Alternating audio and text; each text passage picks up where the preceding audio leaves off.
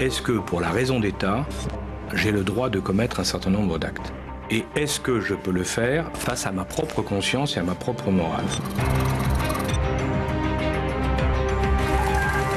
On a décidé à l'époque de monter un service d'exécution que j'ai appelé tout de suite Murder Incorporated.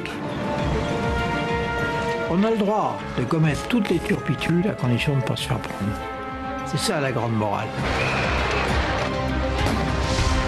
Service de renseignement ne peut pas être dirigé comme un service ordinaire.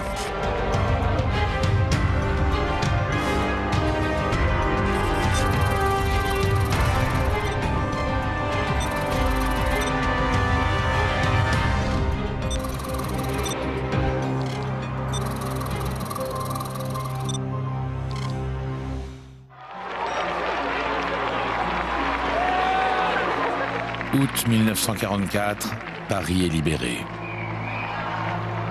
Le général de Gaulle descend en vainqueur les Champs-Élysées. Les Français reconnaissent en lui leur libérateur. L'officier insoumis s'était levé contre l'occupation de la France. Soutenu par les Alliés, il a pu mener le combat qui a conduit au débarquement de Normandie, puis à la victoire. Mais ces exploits n'auraient pas été possibles sans un petit groupe de néophytes aussi rebelles que leur chef. Des amateurs qui ne connaissaient rien aux services secrets, conduisant des missions d'une audace folle. Clandestinement, ils ont écrit durant cette guerre certaines des plus belles pages de l'histoire de France. Une histoire de l'ombre, parallèle, inconnue, qui commence quatre ans plus tôt.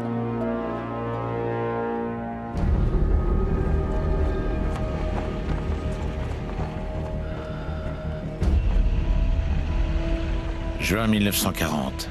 La France a subi la plus grave défaite de son histoire. À l'écrasement militaire succède un armistice inacceptable. Le territoire est largement occupé. La France n'est pas seulement écrasée, elle est humiliée.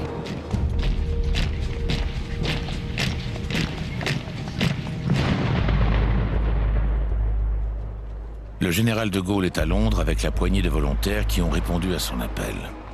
Il n'accepte pas la défaite. L'armistice lui est intolérable. Il veut continuer le combat et incarner la France qui poursuit la lutte. Pour cela, il doit savoir ce qui se passe sur le territoire national. Le général a besoin d'un service de renseignement autonome et dévoué à sa personne avec ses agents, ses armes, ses communications. Mais il manque de professionnels. Les services de renseignement de l'avant-guerre sont demeurés au sein de l'armée d'armistice, fidèle à Pétain. Ils n'ont pas rejoint De Gaulle à Londres. Le général est seul. Le général de Gaulle avait besoin d'un service de renseignement. Il a essayé d'organiser quelque chose, de bricoler quelque chose, il faut bien le dire, car parmi ceux qu'il avait rejoints, il n'y avait pas beaucoup de spécialistes des services secrets.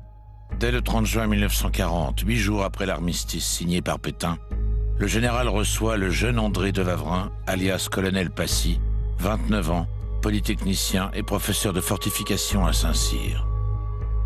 De Gaulle lui demande de mettre sur pied un service de renseignement, indispensable outil clandestin qui lui permettra de se tenir informé sur ce qui se passe en France et d'agir contre l'ennemi.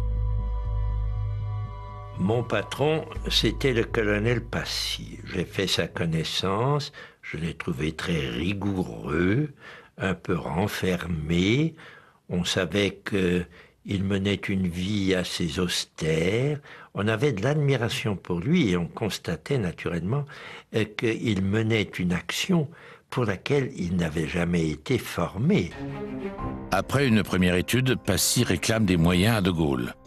Mon général, je n'y connais rien, mais j'ai réfléchi quand même à ce qu'il me faudrait. Je voudrais bien avoir des hommes, de l'argent et des moyens de transmission, parce que ça sera indispensable si l'on veut établir des liaisons avec la France. De Gaulle répond De l'argent, je n'en ai pas. Des moyens de transmission, je n'en ai pas. Et les hommes, eh bien, vous n'avez qu'à vous promener dans Londres, il y a plein de Français, et vous ferez du recrutement. Pour le jeune Passy, la mission est complexe et inédite. Il doit inventer les manières d'espionner son propre pays, dans lequel beaucoup de gens sont prêts à renseigner, pourvu qu'on le leur demande. Il innove. En plus de former des agents, il va développer des réseaux de renseignement clandestins qui, sous l'autorité du général, fonctionneront jusqu'à la libération. Pour l'aider, Passy fait une rencontre de la plus grande importance.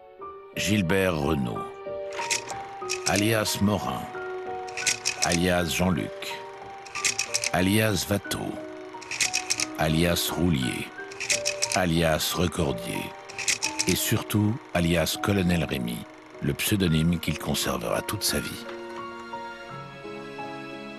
Ce producteur de cinéma est un homme de droite, catholique fervent. Il offre ses services au colonel Passy. La recrue est indocile, mais excellente. La couverture du colonel Rémy ne sera autre que celle de producteur. Passy a gratté ce qu'il a pu dans les tiroirs de la Francine, on m'a donné 20 000 francs. 20 000 francs de l'époque. Je veux bien, mais enfin, c'était tout. Et puis je suis parti. J'avais une adresse à Lisbonne, je suis allé trouver le chef de la cinématographie portugaise, en lui disant que je devais faire un film sur Colomb, mais que Magellan, ce qui est vrai du reste, avait beaucoup plus de mérite que Christophe Colomb, que la fierté portugaise s'accommoderait mal de ne pas avoir mis Magellan à l'honneur. J'ai reçu très bon accueil, et Magellan a servi par la suite à une foule de gens qui n'avaient aucunement l'intention de tourner ce film qui pourrait être très beau du reste. C'était un homme entreprenant, euh, affable, beau parleur, euh, euh, ajoutant quelquefois un petit peu à la vérité, truculent même, mais chaleureux et entraînant. La mission initiale de Rémy consiste à installer un réseau de surveillance des ports de la côte atlantique, de Brest à l'Espagne, en recrutant des agents parmi les professionnels concernés, pilotes de port, cheminots, postiers. Croyant, Rémy baptise son réseau CND, Confrérie Notre-Dame, qui sera à l'origine de très nombreuses opérations. Grâce au renseignement de Rémy, le 27 février 1942, une opération combinée britannique est organisée. Des commandos sont largués au-dessus de Bruneval, au nord du Havre. Leur objectif Démonter un radar allemand qui repère les bombardiers anglais et le rapporter en Angleterre. L'opération Biting, ou coup de croc, est un succès. Les commandos ramènent également en Grande-Bretagne deux prisonniers allemands, dont un radariste. Sans les informations de Rémy, rien n'aurait été possible. Le chef des services secrets britanniques affirmera plus tard qu'il considérait Rémy comme le plus extraordinaire agent secret qu'il ait jamais connu. La guerre secrète fait appel à des outils inattendus. Élégants foulards de soie imprimés avec des cartes de France ou des grilles de code. Les cartes sur papier de riz qui flambent en une seconde la bague pour pilule de cyanure pour se suicider en cas de capture. Et même dans la poche, un discret pistolet stylo. Entre 1942 et 1944, une série de réseaux de résistance et de renseignement surgissent en France, couvrant chacun une fraction du territoire. Les hommes de Passy en créeront de nombreux. Dans ces réseaux se croisent des hommes, gaullistes ou socialistes, qui joueront plus tard des rôles considérables. Jacques Focard, alias Binot, qui deviendra l'indispensable homme de l'ombre du général. Gaston Defer, alias Danvers, qui s'engage dans le réseau Brutus. Charles Pasqua, alias Prairie. Et même un certain Morland, de son vrai nom François Mitterrand. Après un épisode vichiste, il rejoint les réseaux gaullistes.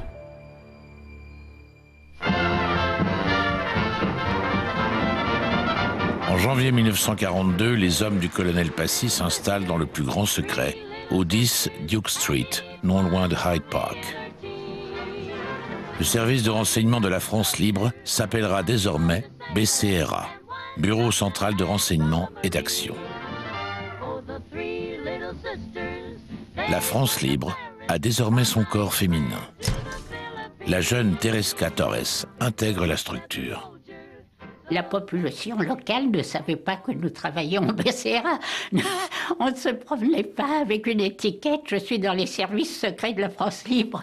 Nous appelions ça la maison chut-chut. Je me souviens d'un bureau pas très grand et que nous recevions du courrier qui venait de France, que nous classions. Je me souviens de grandes cartes avec des endroits probablement euh, qui avaient été demandés par les résistances pour qu'on parachute du matériel ou des gens. Et je rencontrais le général de Gaulle souvent. Et à ce moment-là, je me mettais au garde à vous et je le regardais comme si je regardais Jeanne d'Arc. En janvier 1942, de très nombreux volontaires ont déjà rejoint le général de Gaulle. Seul problème, ils n'ont le plus souvent aucune expérience militaire et encore moins de la clandestinité. Ces néophytes du BCRA doivent être confiés aux moniteurs de l'Intelligence Service britannique, les services secrets anglais. Les stages se succèdent. Maniement d'explosifs, codage, sabotage, parachutisme.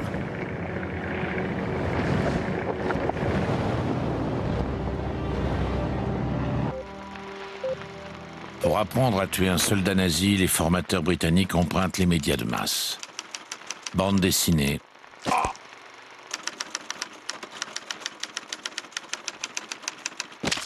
Et même des courts-métrages.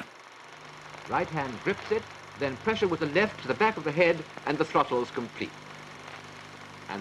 end of that one.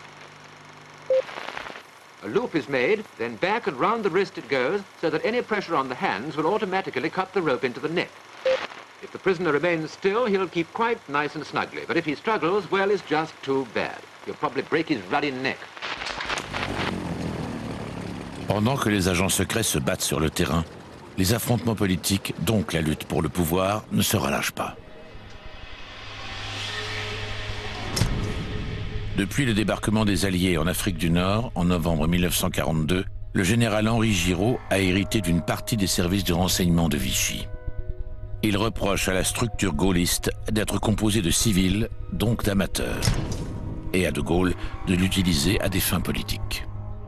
Pour représenter la France, Giraud est le favori des Britanniques et des Américains, qui le préfèrent à De Gaulle, jugé à juste titre aussi obstiné qu'incontrôlable.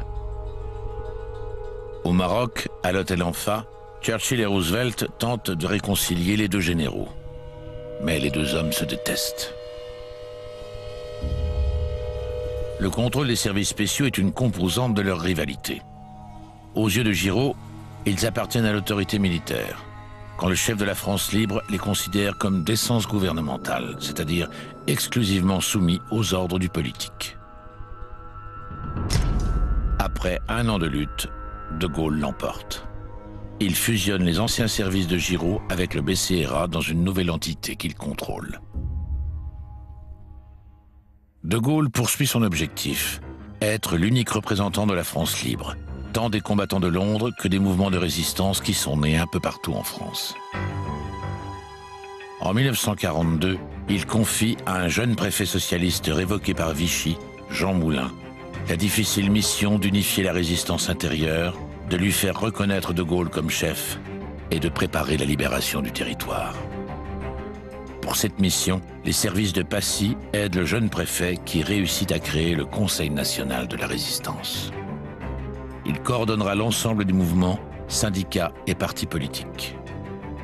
Désormais, pour les résistants de l'intérieur, le général devient l'unique chef de la France libre. C'est un tournant capital.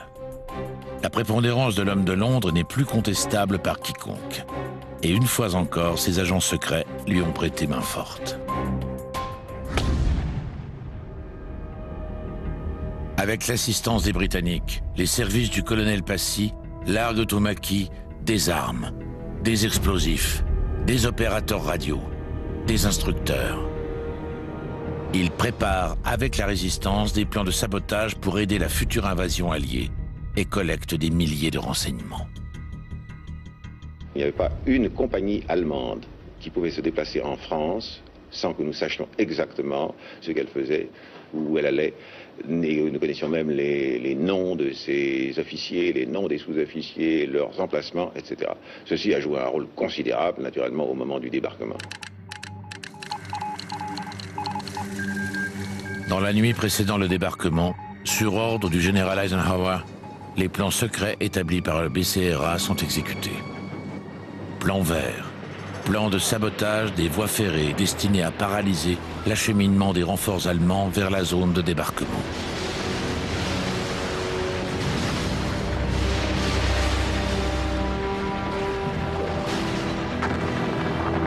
Le plan Tortue, destiné à freiner le déplacement des unités blindées vers les côtes françaises.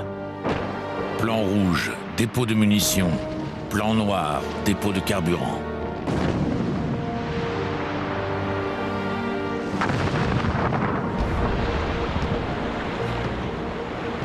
Le 6 juin 1944, à l'aube, l'armada la plus importante de l'histoire attaque les côtes de Normandie.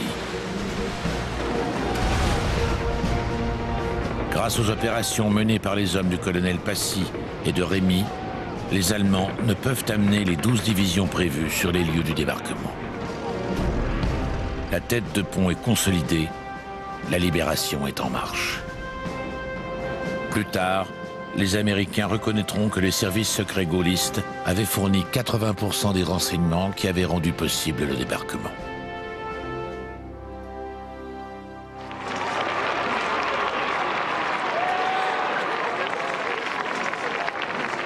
Le 25 août, Paris est libéré. De Gaulle triomphe. La guerre n'est pas finie, mais la France est dans le camp des vainqueurs. Cette victoire est aussi celle des services secrets. Ils ont permis au chef de la France libre de devenir le seul interlocuteur des Alliés. Jamais dans l'histoire, leur rôle n'avait été aussi important.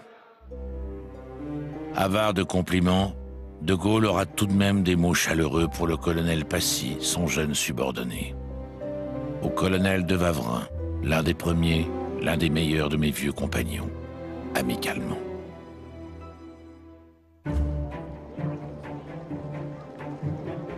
Le 28 décembre 1945, le général renomme les services secrets. Ils s'appelleront désormais SDEC, Service de documentation extérieure et de contre-espionnage. De Gaulle a imposé sa vision. Les services de renseignement d'avant-guerre dépendaient de l'état-major. Le SDEC est aux ordres du président du Conseil. Le SDEC est en charge de l'espionnage à l'extérieur des frontières.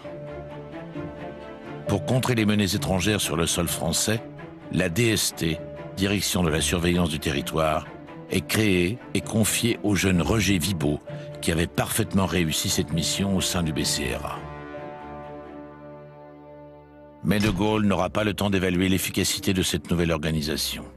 En janvier 1946, il quitte le pouvoir. Quatre mois plus tard, le colonel Passy est touché par une obscure affaire de fonds secrets il est contraint de quitter le service. De Gaulle et Passy, ses créateurs, laissent le SDEC à sa destinée. Passy ne reviendra jamais dans les services secrets, sauf un quart de siècle plus tard, au cinéma. Il acceptera en 1969 de jouer son propre rôle dans le film de Jean-Pierre Melville, L'armée des ombres, où il donne la réplique à Paul Meurice et à Lino Ventura, qui joue le rôle d'un résistant, comme par hasard, producteur de cinéma.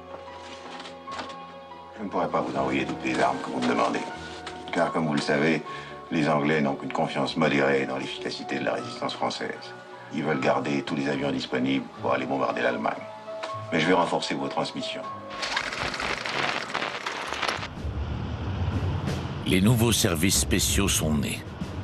Pour être pleinement efficaces et frapper si nécessaire sans mettre en cause la France, il ne leur manque qu'un bras armé, le service action.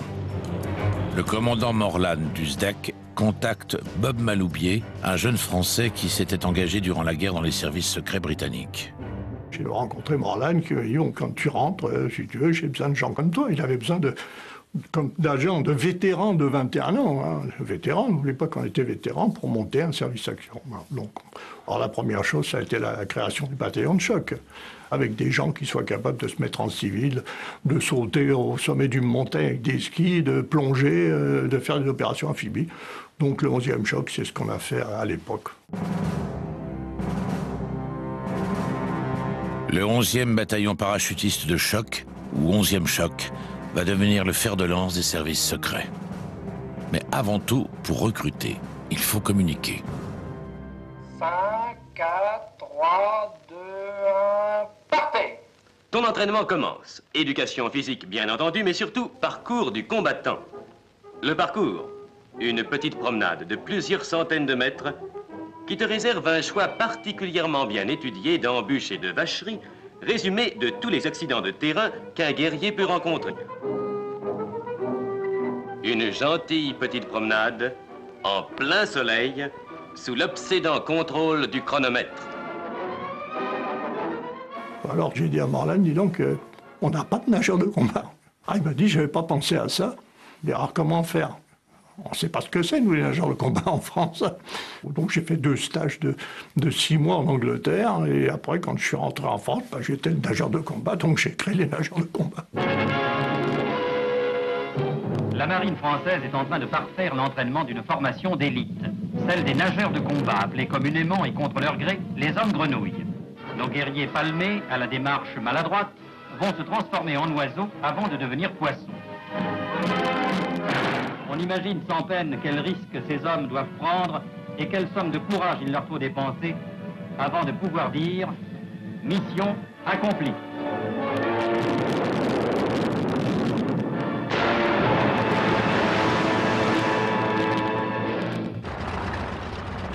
L'organisation que le général de Gaulle a mise sur pied dès 1945 ne va pas rester dans l'ombre bien longtemps ce sont les présidents du Conseil radicaux et socialistes de la 4ème République qui seront les premiers à les utiliser à l'occasion des guerres de décolonisation.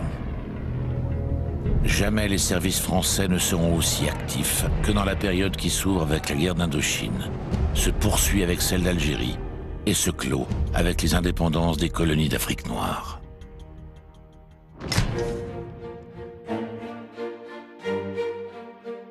En Indochine française, en août 1945, Ho Chi Minh a proclamé l'indépendance du Vietnam. Le leader indépendantiste est en visite en France pour négocier l'avenir de son pays avec le président du Conseil, Georges Bidault. Les négociations échouent. Lorsque Ho Chi Minh regagne le Vietnam à bord du Dumont d'Urville, le pouvoir politique ne se prive pas de lui greffer deux passagers supplémentaires chargés de s'introduire dans sa cabine afin de photographier ses notes secrètes. Mon ami est arrivé à rentrer dans sa cabine et tout photographier. La seule chose, c'est que l'appareil photo n'a pas marché. Donc quand il est rentré à l'époque, il est rentré au laboratoire et toutes ses pellicules étaient noires. Sinon, on aurait eu tous les papiers au chimie.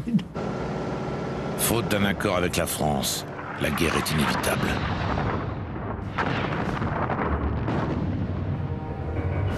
Trois mois plus tard, en décembre 1946, l'insurrection Viet Minh éclate contre la présence française. Les services secrets vont participer à cette guerre dans toute une série d'opérations clandestines.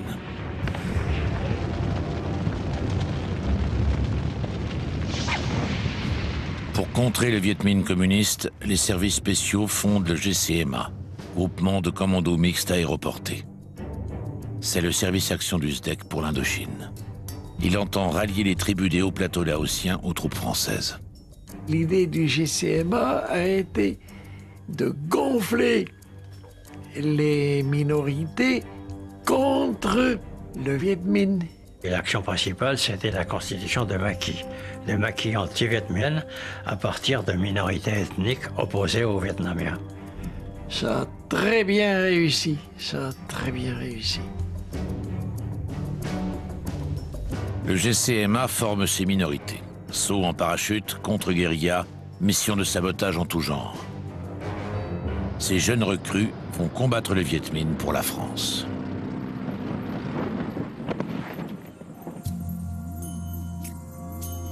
Pour financer les opérations secrètes, mais aussi pour contribuer à conserver les paysans méos anti-Viet Minh dans le giron français, le GCMA va mener l'opération X.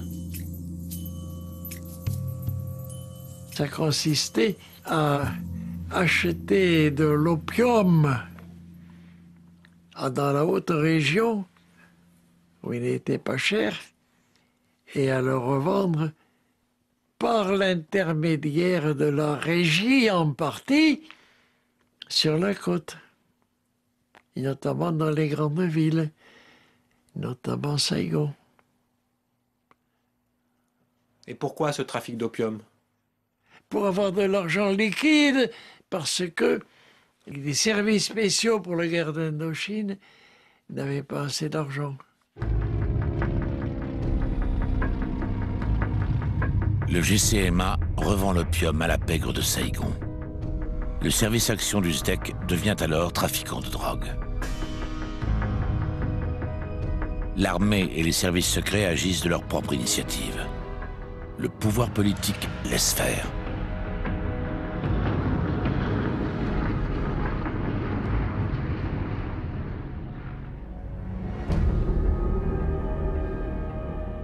À 1800 km au nord de Saigon, en novembre 1953, les troupes françaises se déploient dans la cuvette de Dien Bien Phu, position stratégique, nœud de communication entre le Vietnam, le Laos et la Chine. Pendant ce temps, tout autour, dans la jungle, des dizaines de milliers de Viet Minh acheminent des pièces d'artillerie et des armes lourdes démontées sur les contreforts de la cuvette.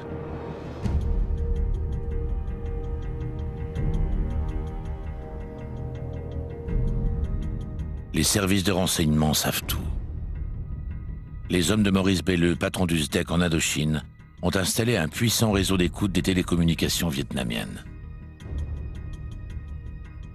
On savait parfaitement ce qu'il y avait autour de Dien Phu comme force viette, en hommes, en matériel. On avait même, par écoute, les écoutes radio, euh, les codes Viet n'étaient pas terribles et on les cassait facilement.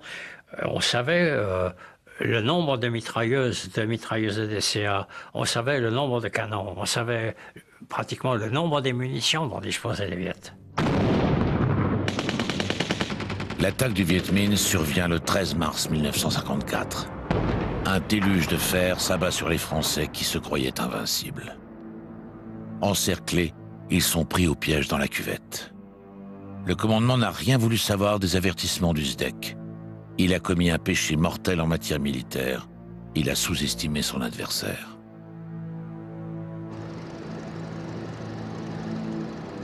Faute d'avoir écouté leur propre service et incapable d'assurer seul le ravitaillement des assiégés, les forces françaises font appel au service américain.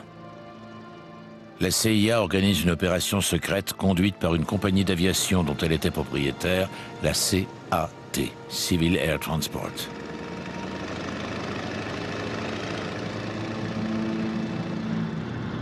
Les avions américains sont repeints aux couleurs françaises et procèdent à 682 largages pour tenter de sauver le camp assiégé. Mais il est bien tard.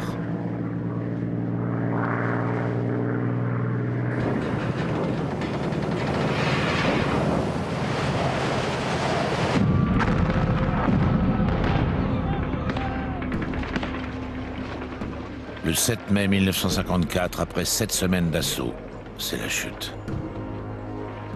40 000 Viet Minh submergent la cuvette de Dien Bien Phu. La responsabilité n'en revient pas aux agents de renseignement, mais bien aux funestes erreurs tactiques et stratégiques de l'état-major. Les prisonniers français sont filmés et mis en scène dans une opération de propagande par le cinéaste soviétique Roman Karmen. Dien Bien Phu demeure un des plus grands traumatismes de l'armée française. Mais ce n'est que le premier d'une réaction en chaîne qui touche tous les territoires sous domination française.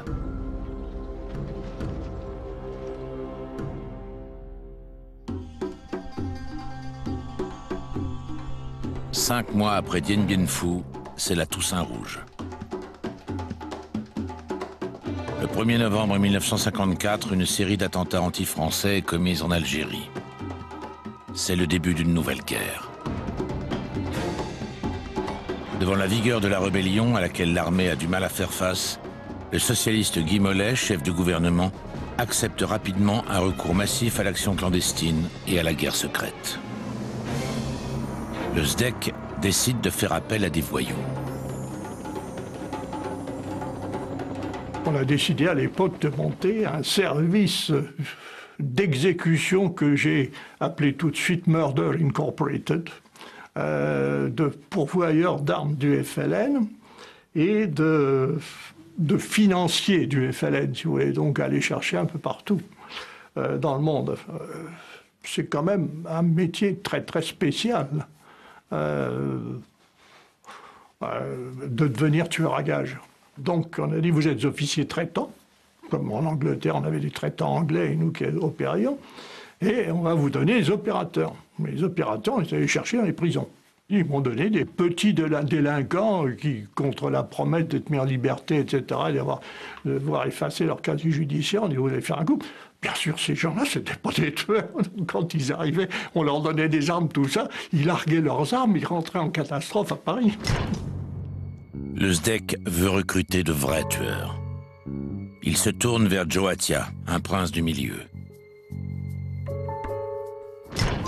Mais alors qu'il est envoyé en mission pour une exécution, il se fait arrêter au Maroc espagnol et risque de tout révéler.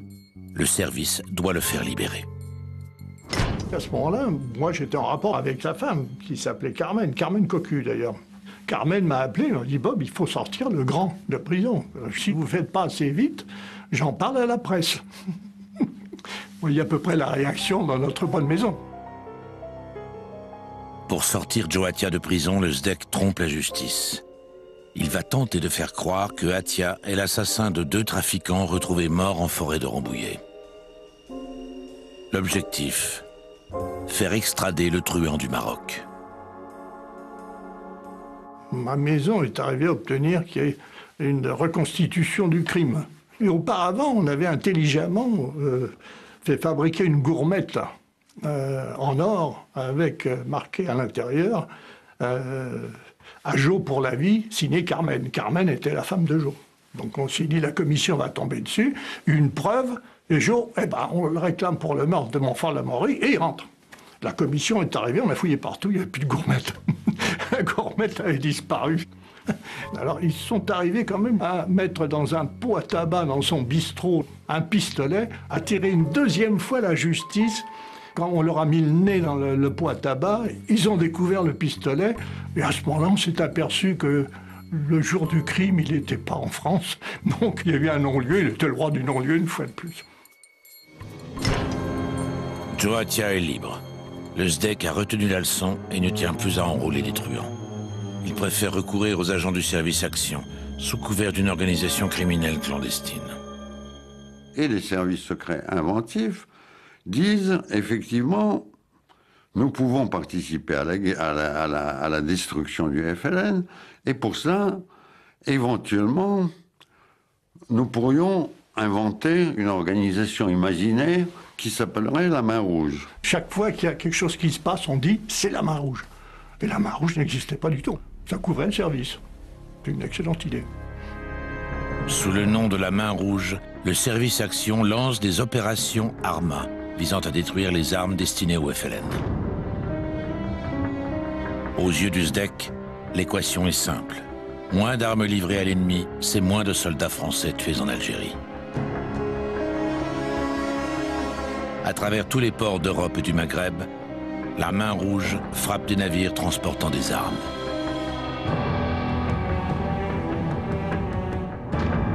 Aux trafiquants dont les cargaisons ont été détruites et qui n'ont pas cessé leur livraison au FLN, le SDEC réserve des opérations homo pour homicide.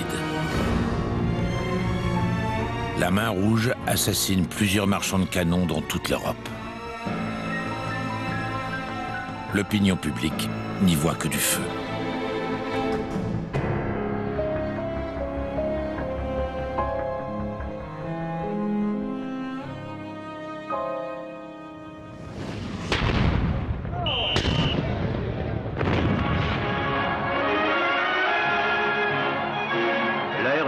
République. Le général de Gaulle, élu président de la République, entre à l'Élysée. Au milieu de cette foule parisienne qui n'a pas oublié 1944 et qui n'oubliera pas 1958. Mais 44 était une fin et 58 est un début.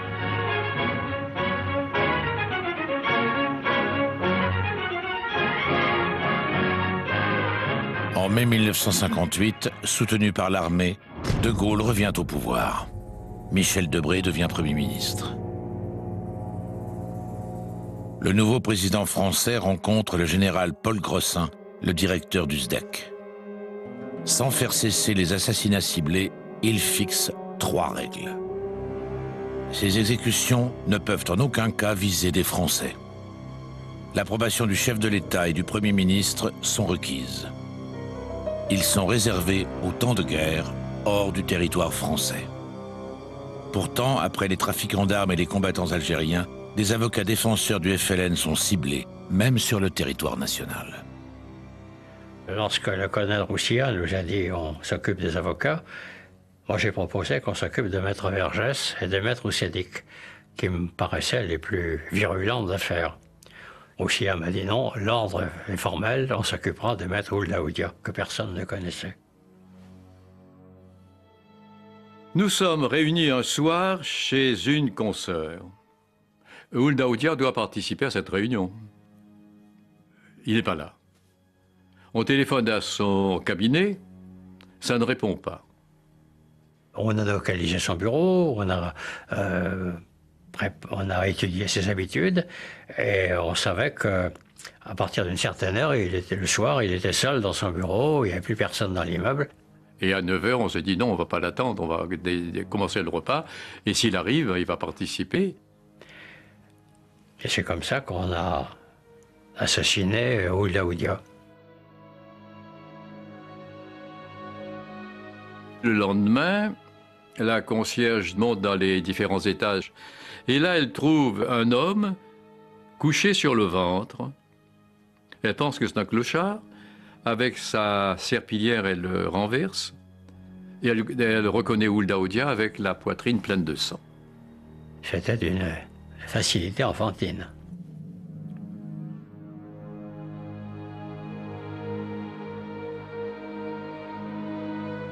Maître Aoudia était inscrit au barreau de Paris.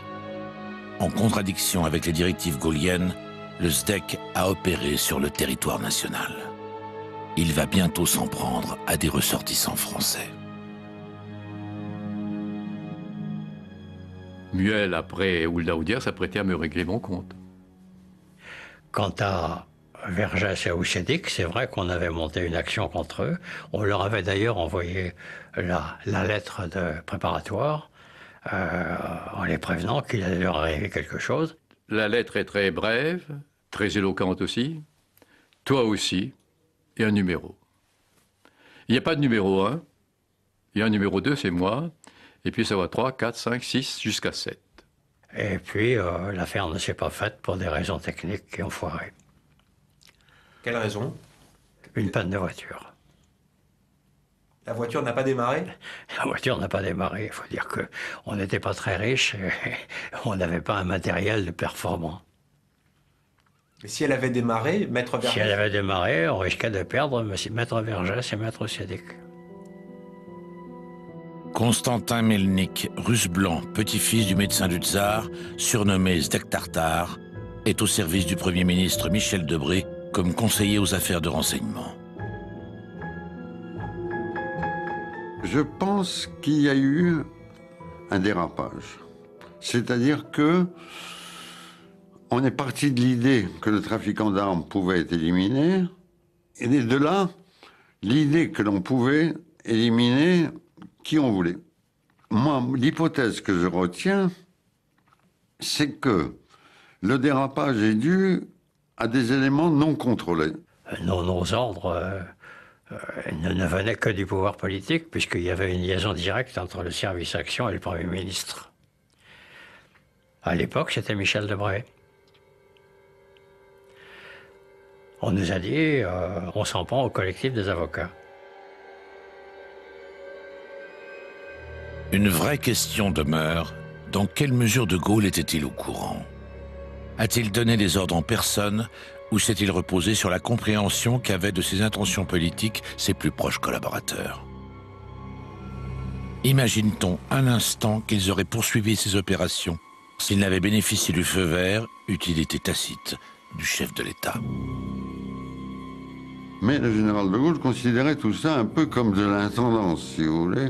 Dans 90% des cas, c'est le général Grossin qui, s'appuyant sur les directives générales du, général de Gaulle, donnait des ordres à ses propres services. Et si une opération aboutissait à un résultat et qu'il n'était pas désavoué par le général de Gaulle, il estimait qu'il était dans la bonne voie et il continuait. La guerre d'Algérie offre aux SDEC un terrain qu'il ne retrouvera jamais plus. Est-ce l'âge d'or du service action ou celui durant lequel il s'est affranchi durablement des lois de la guerre Pour abuser encore davantage l'opinion publique et la presse, le SDEC fait même éditer un livre, en Suisse, La main rouge, présenté comme un reportage. Le SDEC devient une redoutable machine à tuer. Au cours de la seule année 1961, il aurait abattu 103 personnes, ce qui n'empêche pas les bavures. En juillet 1959, la voiture de Tayeb Boularouf est piégée à Rome. Mais l'attentat le manque. Le trafiquant d'armes avait eu sa voiture piégée par une charge explosive qui était reliée avec, par un fil, un fil de nylon pratiquement invisible, et un hameçon accroché à la roue. Quand la roue se mettait en mouvement, le fil se tendait et la charge euh, fonctionnait. Et là, il se trouve qu'un gamin qui jouait dans la rue a lancé son ballon sous la voiture. Le fil a été tendu. Je pense que c'est la seule vraie bavure qu'on ait eu enregistrée.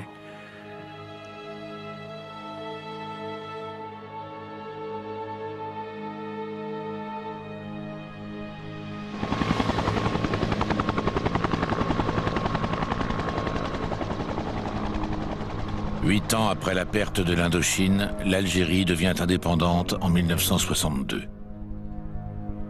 Nombreux sont les hommes des services spéciaux qui voient là une nouvelle trahison du pouvoir politique. Pour nous, c'était une catastrophe dont on ne s'est pas encore remis. Est-ce que vous montez un complot contre le général? Pour l'assassiner? J'y ai pensé. J'y ai pensé, et c'est d'ailleurs ce qui, m'a provoqué des ennuis. Parce que certains ont imaginé que si je m'occupais de ce problème, compte tenu des techniques acquises au service action et des moyens du service action, c'est un complot qui risquait de réussir. Alors on m'a mis à l'abri. C'est-à-dire? Donc j'ai passé trois mois à Fresnes et, j'ai été viré de l'armée euh, un an après. La main rouge demeure un cas unique pseudo-organisation criminelle dirigée en fait par les services secrets. Elle va faire fantasmer toute l'Europe avant que l'énorme supercherie soit révélée. La paix revenue, Paul Grossin, alors patron du SDEC, trouve cet épisode plutôt plaisant et s'en réjouit, sans plus de formalité. C'était quoi la main rouge pour vous alors, en général? La main rouge, c'est un genre de, gens qui étaient, des, si vous voulez, des, des révolutionnaires dans leur genre et qui voulaient faire, euh, qui estimaient que nous ne, le, gouvernement français ne prenait pas assez de dispositions pour euh, contrer, si vous voulez, les marchands d'armes ou les trafiquants d'armes. Ben, ils ont pris, ils ont fait, ils ont fait leur travail eux-mêmes.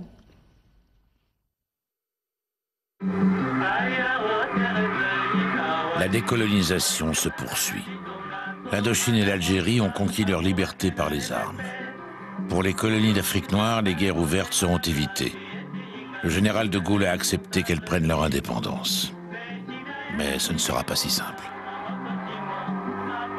Les services secrets seront fort utiles au président pour garantir l'influence de la France dans son précaré africain et son accès aux richesses du continent noir.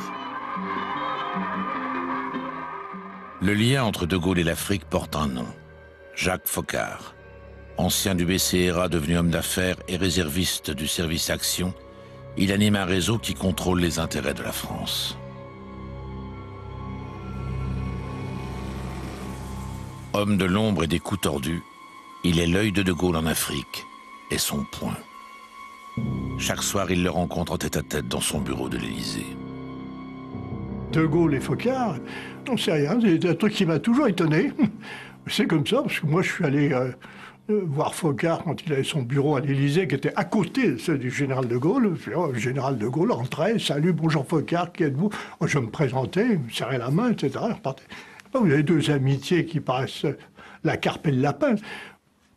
Si vous saviez pas que c'était Focard, vous y passez quelqu'un, vous dites bon, c'est un monsieur comme un autre, assez banal d'apparence.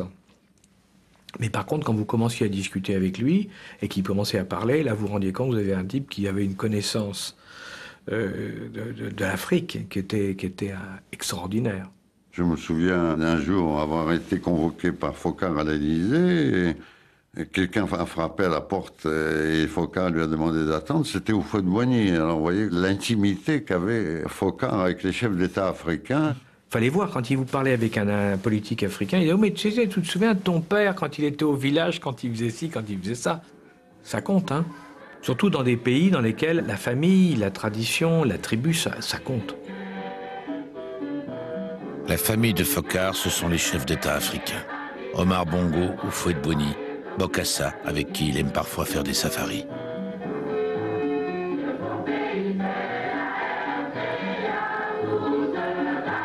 Il n'y a pas beaucoup de gens qui sont prêts tous les dimanches ou presque à inviter des, responsables étrangers, africains ou d'ailleurs, hein, euh, chez eux, passer le week-end en famille. Ce type, il vivait que pour ça. Alors bon, euh, tout le monde était un peu quand même fasciné parce que vous, de temps en vous avez envie d'arrêter. hein. vous avez envie, tiens, et si je me changeais un peu les idées? Lui, c'était vraiment, c'était, il vivait à, à 99% et pour, pour sa mission.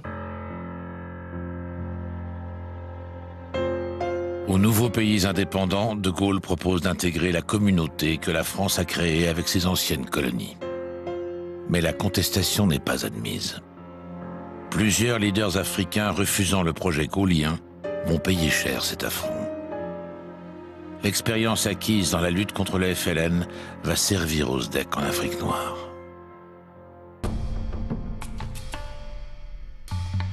Le président guinéen Ahmed Sékou Touré refuse l'association proposée par le général. Il se rapproche du bloc soviétique. Le SDEC va dès lors s'employer à le déstabiliser et faciliter la prise du pouvoir par l'opposition. Les services français font circuler de la fausse monnaie guinéenne qui inonde bientôt le marché. L'économie locale s'effondre. La manœuvre est malvenue et dérisoire car le leader guinéen se rapprochera durablement de l'URSS. Au Cameroun, le leader du parti d'opposition UPC, Félix Moumier, lutte contre le régime d'Amadou Ahidjo mis en place par Focard. William Bechtel, ancien du BCRA, réserviste doyen du service Action, est envoyé à Genève pour l'assassiner. Bechtel a joué le journaliste qui voulait interviewer Félix Moumier. Et au cours du repas, euh, Bechtel a empoisonné d'abord le pastis, la- l'apéritif, avec du thallium. Félix Moumier a trouvé que le pastis avait mauvais goût et ne l'a pas bu. Alors Bechtel a remis du thallium sur le, plat, de, résistance. Ce qui fait que, en partant, Félix Moumier a dit on va pas leur laisser l'apéritif qu'on n'a pas bu. Et il a bu l'apéritif. Autrement dit, il avait pris une double dose de thallium. Euh, Donc, euh, c'est- il ne pouvait pas vivre très longtemps et il s'est rendu compte tout de suite qu'il était empoisonné. Quand l'Afrique explose, Focard n'est jamais loin. Il joue un grand rôle dans la sécession katangaise de 1960 que la France appuie avec ses mercenaires autour de Bob Denard. Focard est présent avec ses mercenaires lors de la sécession de la province pétrolière du Biafra, au Nigeria. Le soutien clandestin de la France a prolongé le conflit de plusieurs années et provoqué la mort de dizaines de milliers de personnes dans une catastrophe humanitaire majeure. Derrière cette opération, en réalité, il y avait un intérêt pétrolier indiscutable des Français qui se disaient bah, tiens, si on met la main sur le pétrole, ça serait pas mal. En réalité, la guerre du Biafra, c'est une guerre entre les compagnies pétrolières, euh, je dirais, anglophones hein, et, et les Français. On peut habiller ça comme on veut, mais le fond de l'histoire, il est là. Au prix de milliers de vies. Pardon? Au prix de milliers de vies. Ah oui, ça c'est sûr. Ça, je vous dis pas le contraire. À partir du moment, par exemple, où vous récupérez des minerais qui vont être traités ensuite euh, en France, à partir du moment où vous extrayez du pétrole et que c'est du bon, enfin, à partir du moment où vous avez des activités qui sont des activités qui vont apporter à l'économie française un, un développement, bah, évidemment, euh, c'est une bonne justification quand même. hein. Alors vous me direz, oui, mais peut-être que la partie amont a peut-être été très morale. C'est vrai, mais, mais les autres font pareil. Alors vous me direz, c'est pas une excuse. Hein, ça c'est vrai. Mais euh, il faut, le monde, n'est pas un monde angélique. Hein. C'est moins qu'on puisse dire. Sur le moment, on se pose pas de questions, puis après, en y repensant, on se dit quand même, est-ce que c'était, euh, est-ce que c'était bien ou mal? Et puis on se dit bon, quand même, c'était pour la, c'était pour la France, comme on dit. On feint de croire que Jacques Faucard serait une sorte de franc-tireur, un électron libre. Rien n'est plus inexact. Aux mains du général, il est une arme. Faucard est l'instrument du général, lui. Le général de Gaulle n'a jamais aimé le, les services secrets et euh, ces méthodes de gangster des services secrets. Alors, il fermait les yeux, là, et puis il avait un, Deus ex machina qui était Faucard. Il faisait ça par personne interposée, mais il ne voulait pas le savoir. Il a toujours considéré ça comme absolument nécessaire. J'ai tendance à croire que pour lui, c'était un mal nécessaire. C'est-à-dire que si vous voulez, il n'avait pas, euh, pour lui, c'était pas, lui, c'était un soldat traditionnel, si vous voulez. La guerre du renseignement, faut reconnaître que c'est pas très traditionnel. Depuis l'appel du 18 juin 1940, un quart de siècle s'est écoulé. Conçu pour lutter contre le nazisme, consolidé en Indochine, en Afrique noire et en Algérie, les services secrets français sont à la fois puissants, redoutés et très fragiles. Le milieu des années 60, c'est le pic de la guerre froide. Les services secrets français en font désormais leur priorité.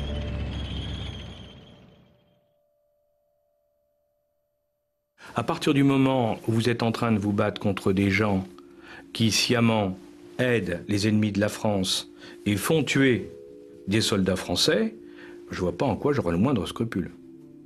À mon avis, c'est moins immoral que le bombardement d'une ville civile par les- par l'Air Force, hein, où on tue des femmes et des enfants allègrement, euh, sans état d'âme.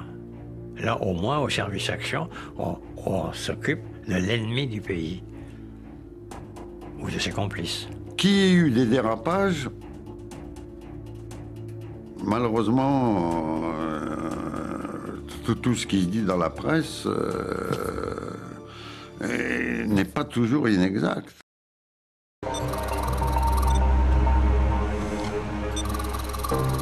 Est-ce que, pour la raison d'État, j'ai le droit de commettre un certain nombre d'actes? Et est-ce que je peux le faire face à ma propre conscience et à ma propre morale? Décidé à l'époque de monter un service d'exécution que j'ai appelé tout de suite Murder Incorporated. On a le droit de commettre toutes les turpitudes à condition de ne pas se faire prendre. C'est ça la grande morale. Un service de renseignement ne peut pas être dirigé comme un service ordinaire.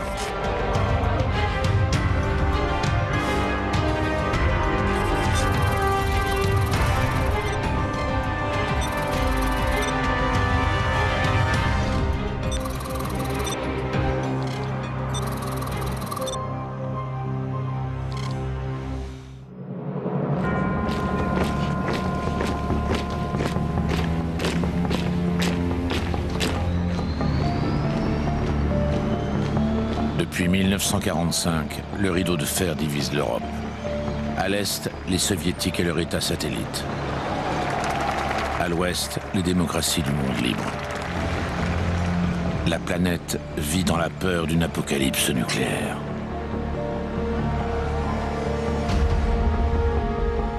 À Berlin, les Allemands de l'Est fuient vers l'Ouest. Afin d'enrayer l'exode, les communistes dressent en août 1961 un rempart pour séparer la ville en deux. Ce mur de la honte devient le symbole de la division du monde.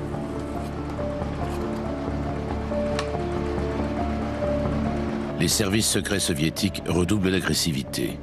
Ils lancent de puissantes opérations d'espionnage contre l'Ouest. Le mur de Berlin est à peine édifié que l'ensemble des services secrets du monde libre, à commencer par les Français, vont être déstabilisés par l'affaire d'un mystérieux transfuge.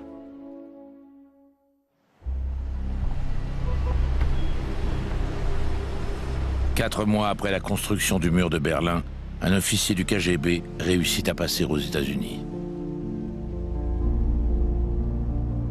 Depuis 50 ans, hormis les agents de renseignement, personne n'avait vu son visage. Son nom, Anatoly Golitsyn. Devant ces interrogateurs de la CIA, ce transfuge prétend que des agents soviétiques ont été infiltrés dans les services des pays de l'OTAN. Mais surtout, il affirme que de nombreuses taupes se trouveraient au sein du SDEC, la centrale d'espionnage française et plusieurs autres dans l'entourage du général de Gaulle. Golitsyn donne même un nom à ce réseau, Saphir. La suspicion de pénétration est si grave que le président américain en personne décide d'alerter son homologue français.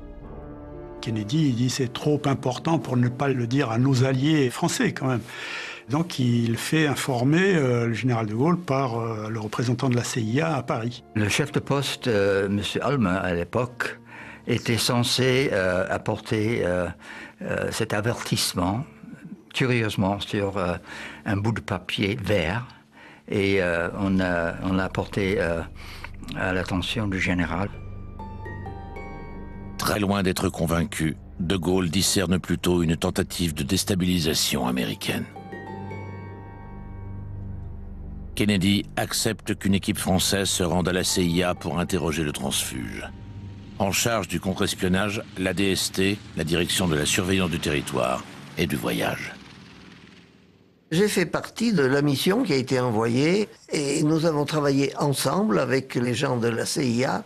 Golitsyn nous dit qu'il y a eu une pénétration globale des services français. On a été très, très surpris, évidemment. La DST demeure perplexe. Aucun des agents du contre-espionnage n'a rien vu. Des taupes Mais où sont les alertes, les indices, les inévitables traces d'une telle pénétration? L'existence de Golitsyn est un secret d'État et le transfuge prend le nom de code Viru. Pour les gens qui auraient été initiés, par exemple, à l'époque, ils auraient pu finir par savoir que la traduction la plus plausible de virus était forcément Very Important Russian.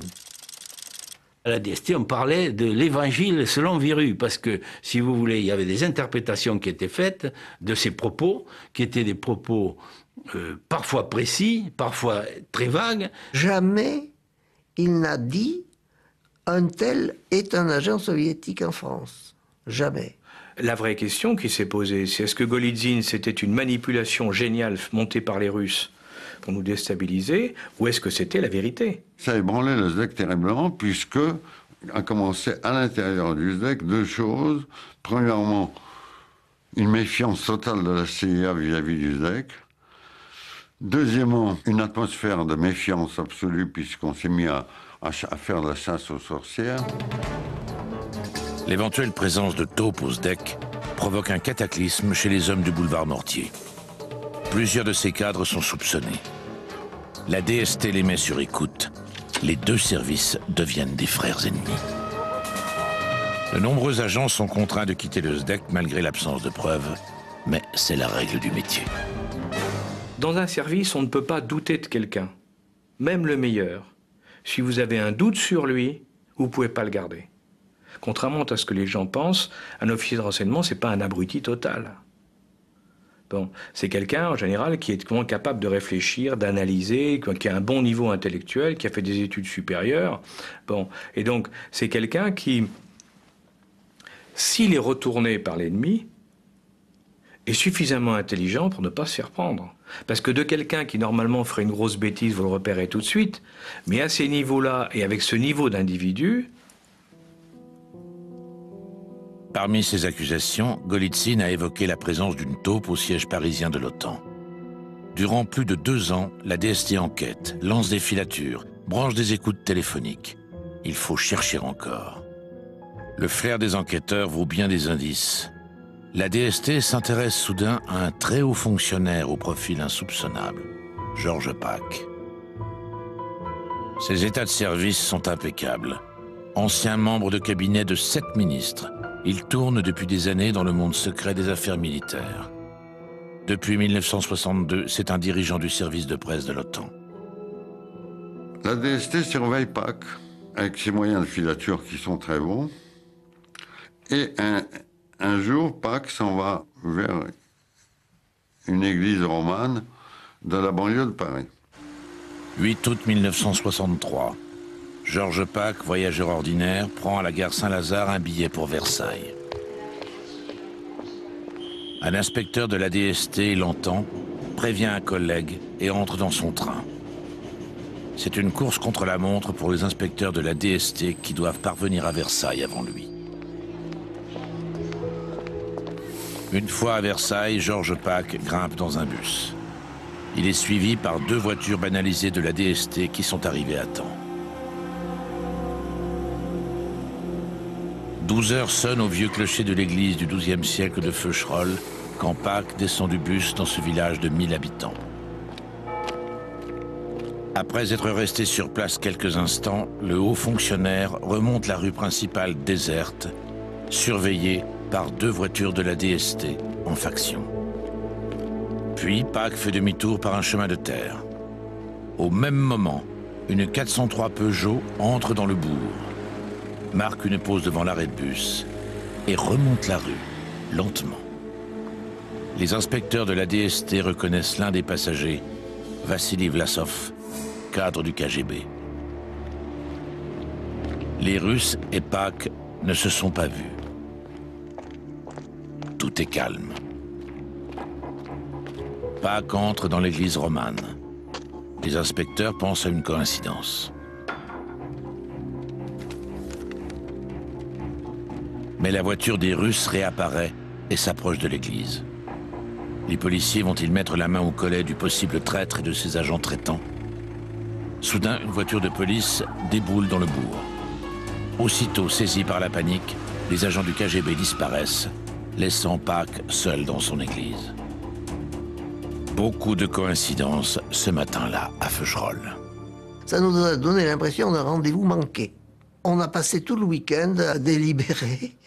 Que fait-on euh, Est-ce qu'il n'est pas prématuré d'intervenir sur, sur, une base qui reste encore fragile? La nuit se passe et la DST décide de procéder à l'interpellation de Pâques dès le lendemain matin. Après une brève conversation avec lui, je l'ai convaincu d'avouer son activité clandestine euh, qui, que je lui ai présentée comme tout à fait certaine à nos yeux, naturellement. Et Pâques de lui-même fait ce que aucun espion ne fait d'habitude jamais. Il dit appelez un confesseur, donnez-moi une feuille de papier, je vais, je vais vous rédiger ma confession. J'avoue que j'étais tout à fait, tout à fait surpris, interloqué même, d'avoir à organiser cette rencontre de Pâques avec un prêtre. Si Pâques exige la présence d'un prêtre, c'est pour se confesser et apaiser sa conscience. Puis, il rédige dix pages de confession pour la DST. Il y révèle avoir été recruté par les Russes 20 ans plus tôt à Alger et leur avoir remis depuis des dizaines de documents secrets. L'importance de sa trahison a permis aux soviétiques de voler des informations cruciales au cœur de l'État. Grâce à lui, les soviétiques ont connu à l'avance la réaction des Alliés à la construction du mur de Berlin, la protestation verbale et rien d'autre. Ça, ça se passe jamais. Ça, c'est un coup de chance inouï parce qu'on aurait pu interroger Pâques. Pendant dix ans, il aurait maintenu la thèse de dire j'étais dans cette église romane parce que c'est une belle œuvre d'art et on n'aurait rien pu retenir contre lui. On aurait pu juste que lui dire au revoir monsieur, excusez-nous de vous avoir dérangé. Il était libéré euh, par cette euh, confession et donc il répondait à toutes les questions qu'on posait. Il allait même au devant de nos désirs il nous a donné une liste de 150 personnes dont il avait fait la biographie. J'étais quand même ami de Georges Pâques. Georges Pâques venait dans mon bureau, euh, à peu près une fois tous les 15 jours. Il m'a jamais demandé aucun secret sur la France. Mais il est évident qu'il a rendu compte au KGB de mes fonctions réelles. L'affaire est si considérable que le général de Gaulle vérifie en personne le communiqué de la DST et le corrige de sa main. Pied de nez au service français, cet espion à la solde des soviétiques a collaboré à un livre intitulé Les valeurs fondamentales du patriotisme français. Parmi ses co-auteurs, un jeune énarque au talent prometteur, l'aspirant Pierre Jox. Au secrétariat général de la Défense nationale, il est son voisin de bureau. J'ai connu Georges Pack où Au cœur de l'état-major général de la Défense nationale. Pack était un esprit curieux, était agrégé de l'université, il était très anticommuniste, il était très... C'était pour moi l'image de la droite euh, euh, intelligente. Hein. C'était un homme cultivé qui était très... Et bien, longtemps après, j'ai appris que c'était un espion soviétique. Il a été en tôle pendant des années. hein. Lors de son procès devant la Cour de sûreté de l'État, le procureur requiert la peine de mort. Pack y échappe. Il est condamné à la prison à perpétuité, mais sa peine sera ramenée à 20 ans par le général de Gaulle. Georges Pompidou graciera Georges Pack en 1970. Élément d'explication, les deux hommes avaient été condisciples à l'école normale supérieure. Pack est coupable, mais ce n'est pas lui que Golitsyn avait dénoncé en 1961, puisqu'il évoquait une taupe ayant infiltré l'OTAN, alors que Pack n'y travaillait pas encore.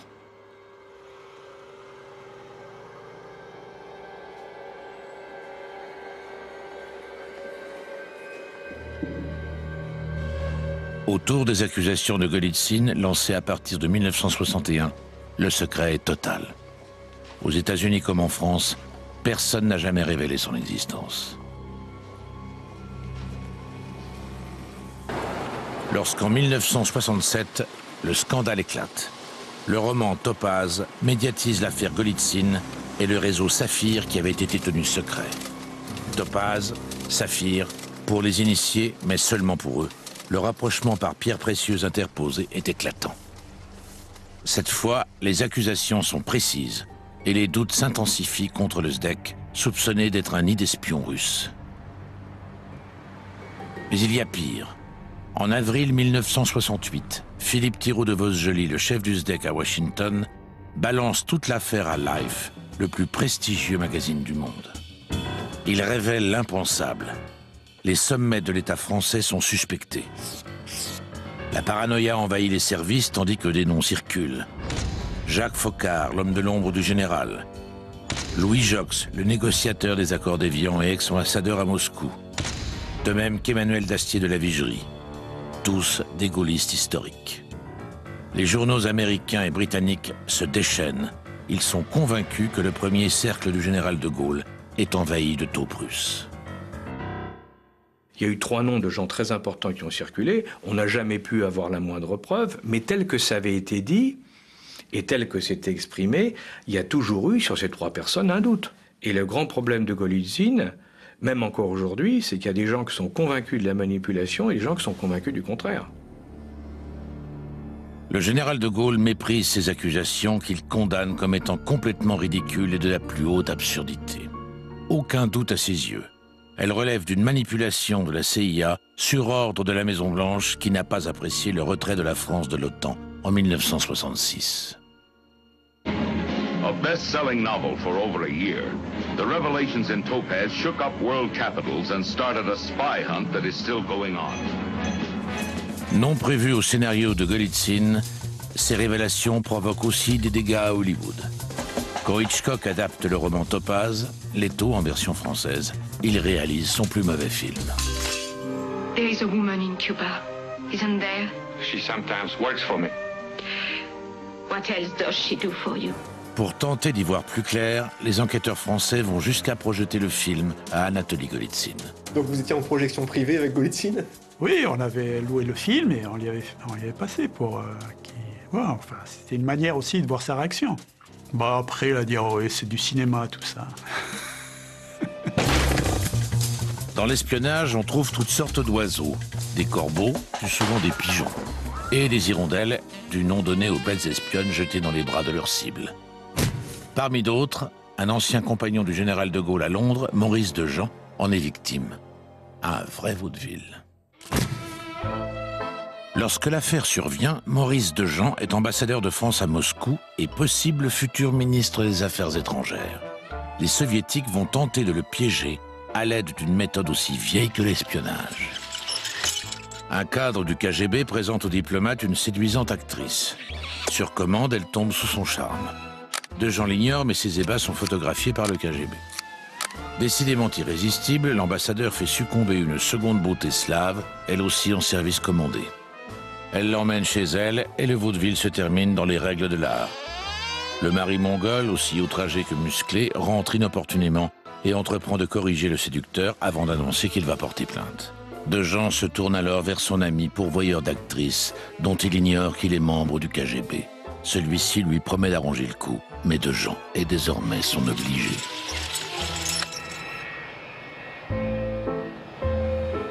Finalement, le KGB n'exploitera pas cette affaire. Elle sera révélée par un transfuge. De Gaulle rappelle alors le bourreau des cœurs à Paris. Le général de Gaulle a reçu deux ans et lui a dit ce mot que je trouve historique, alors deux ans on baise, ce qui est amusant. À la mort de Maurice de Jean en 1982, de manière très inhabituelle, Le Monde évoquera cet épisode. Parfois, les espions se distraient dans les alcôves, mais cette guerre froide, ce sont aussi des affaires autrement plus sérieuses.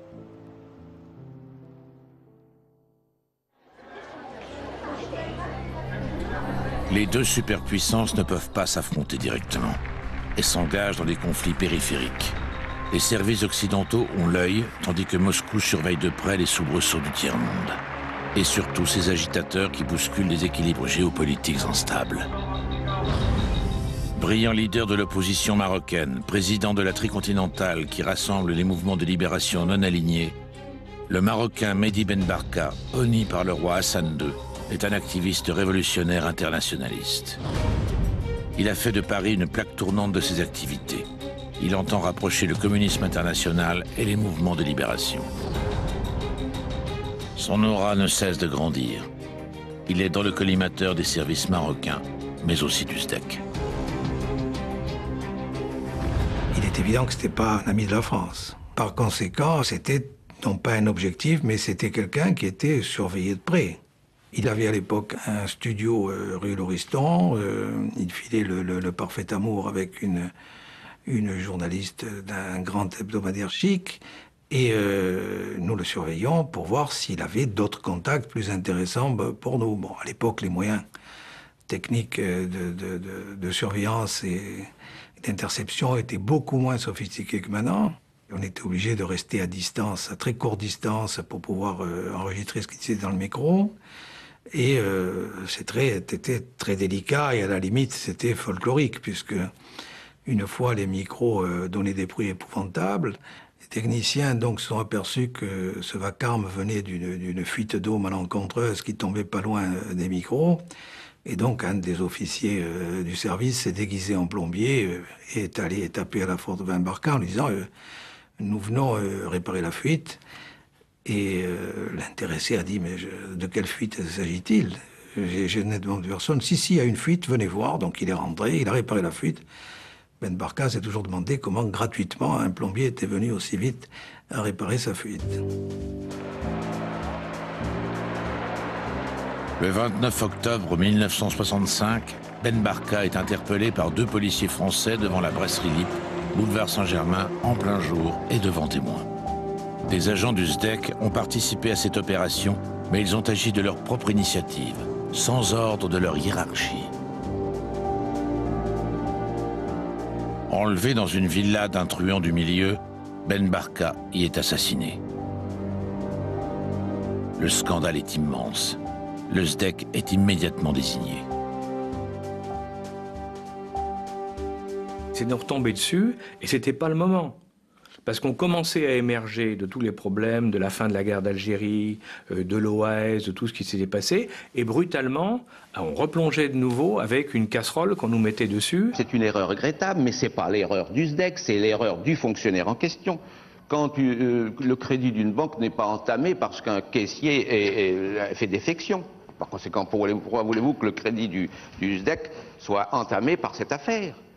Ça a profondément euh, heurté le, le, général de Gaulle et le fait que des membres de service français aient pu participer à une opération de ce genre est une chose qu'il qu qu pouvait difficilement pardonner.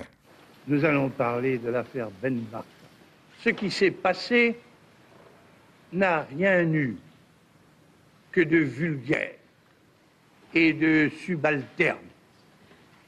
Et là, on a senti très bien qu'il y avait une reprise en main, euh, une reprise en main très nette, si vous voulez, de l'ensemble du service. Par qui? Ah, par le pouvoir, c'est clair. Hein. Donc il y a eu un certain ménage à, par- à partir de, de ce moment-là.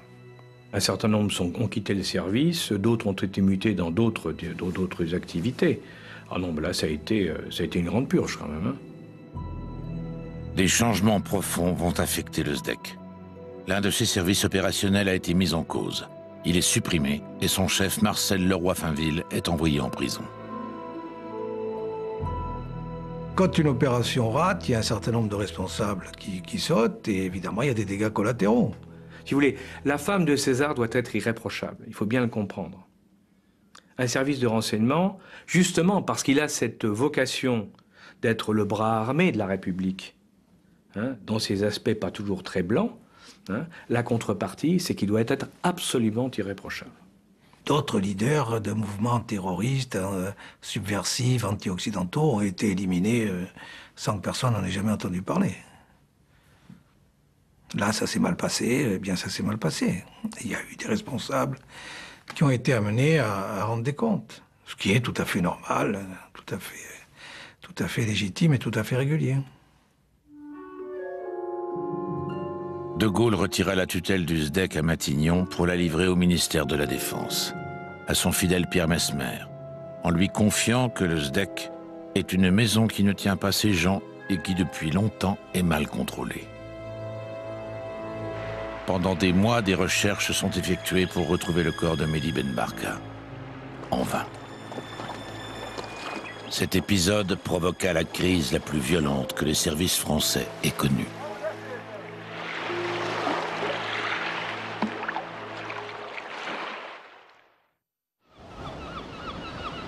Les années 60 ont été laborieuses pour les services. Les affaires Golitsyn, Pâques et Ben Barka ont empoisonné l'atmosphère. Les relations avec le pouvoir politique sont détériorées. En 1969, De Gaulle s'en va. Durant la guerre, il a créé les services de renseignement modernes. Il transmet à ses successeurs une organisation efficace, mais fragilisée.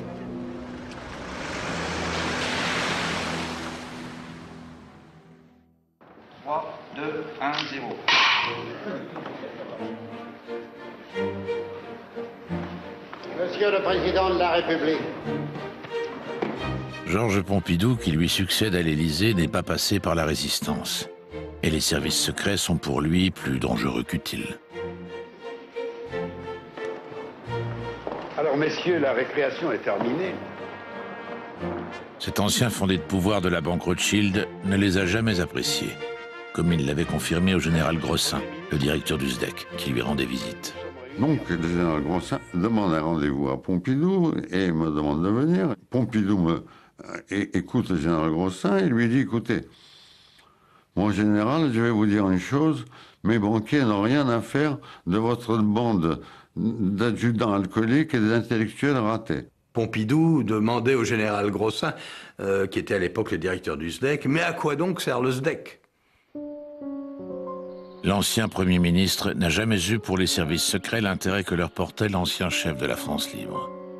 Il ne pardonne pas l'affaire Ben Barka, encore moins l'affaire Markovic, dans laquelle une fraction du SDEC a monté contre son épouse une sordide machination ayant pour but de le déstabiliser. Les responsables du poste parisien du SDEC, la base Bison, surnommée base Baison, ont beau avoir été renvoyés, le traumatisme demeure. Il en a voulu énormément au service. J'ai vu après ce que le dégât que ça avait pu faire.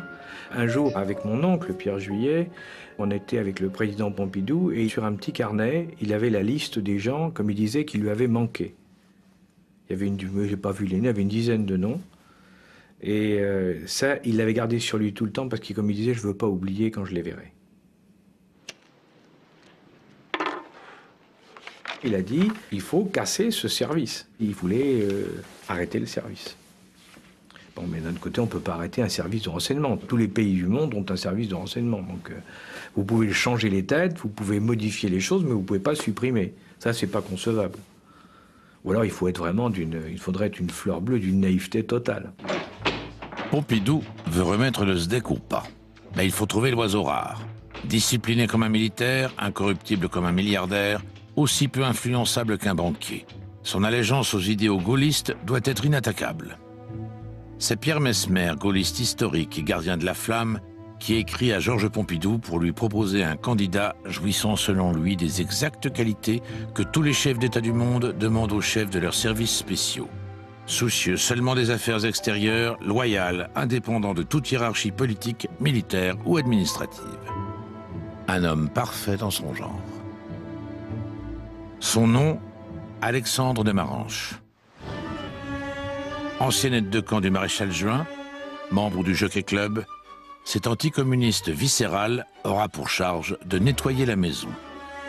Au pays des espions, le comte fait forte impression. De Maranche méritait euh, le surnom qui lui avait été donné, c'est-à-dire Porthos. Porthos. Porthos. Porthos, vous voyez pourquoi? Un grand monsieur d'abord. Il était plus grand que moi. Il pesait je sais pas combien de plus que moi. Très affable, un grand seigneur, quoi. C'était une personnalité extrêmement flamboyante, totalement mégalomaniaque. Il avait tendance à parler beaucoup de lui-même avec un brin d'exagération de temps en temps. Dans la salle de restaurant hein, du directeur général, les couverts étaient à sa marque, avec ses armoiries du comte de Maranche. Ça, c'est quand même le seul à avoir fait ça dans le cadre de la République. Mais les gens, quand ils venaient, ils étaient bluffés, les types de l'extérieur. Ils arrivaient et ils voyaient, on, lui, on, les servait dans des assiettes avec le sigle. Ils disaient, ça c'est quoi? Ça c'est monsieur le comte. Le comte de Maranche. Ah, ils disaient, ça c'est la vieille France. Et il avait des amitiés personnelles euh, de grande qualité. Le Shah d'Iran, le roi du Maroc, euh, Vernon Walters, donc euh, un lien direct avec la CIA. Il était accueilli les bras ouverts en Égypte, il allait partout.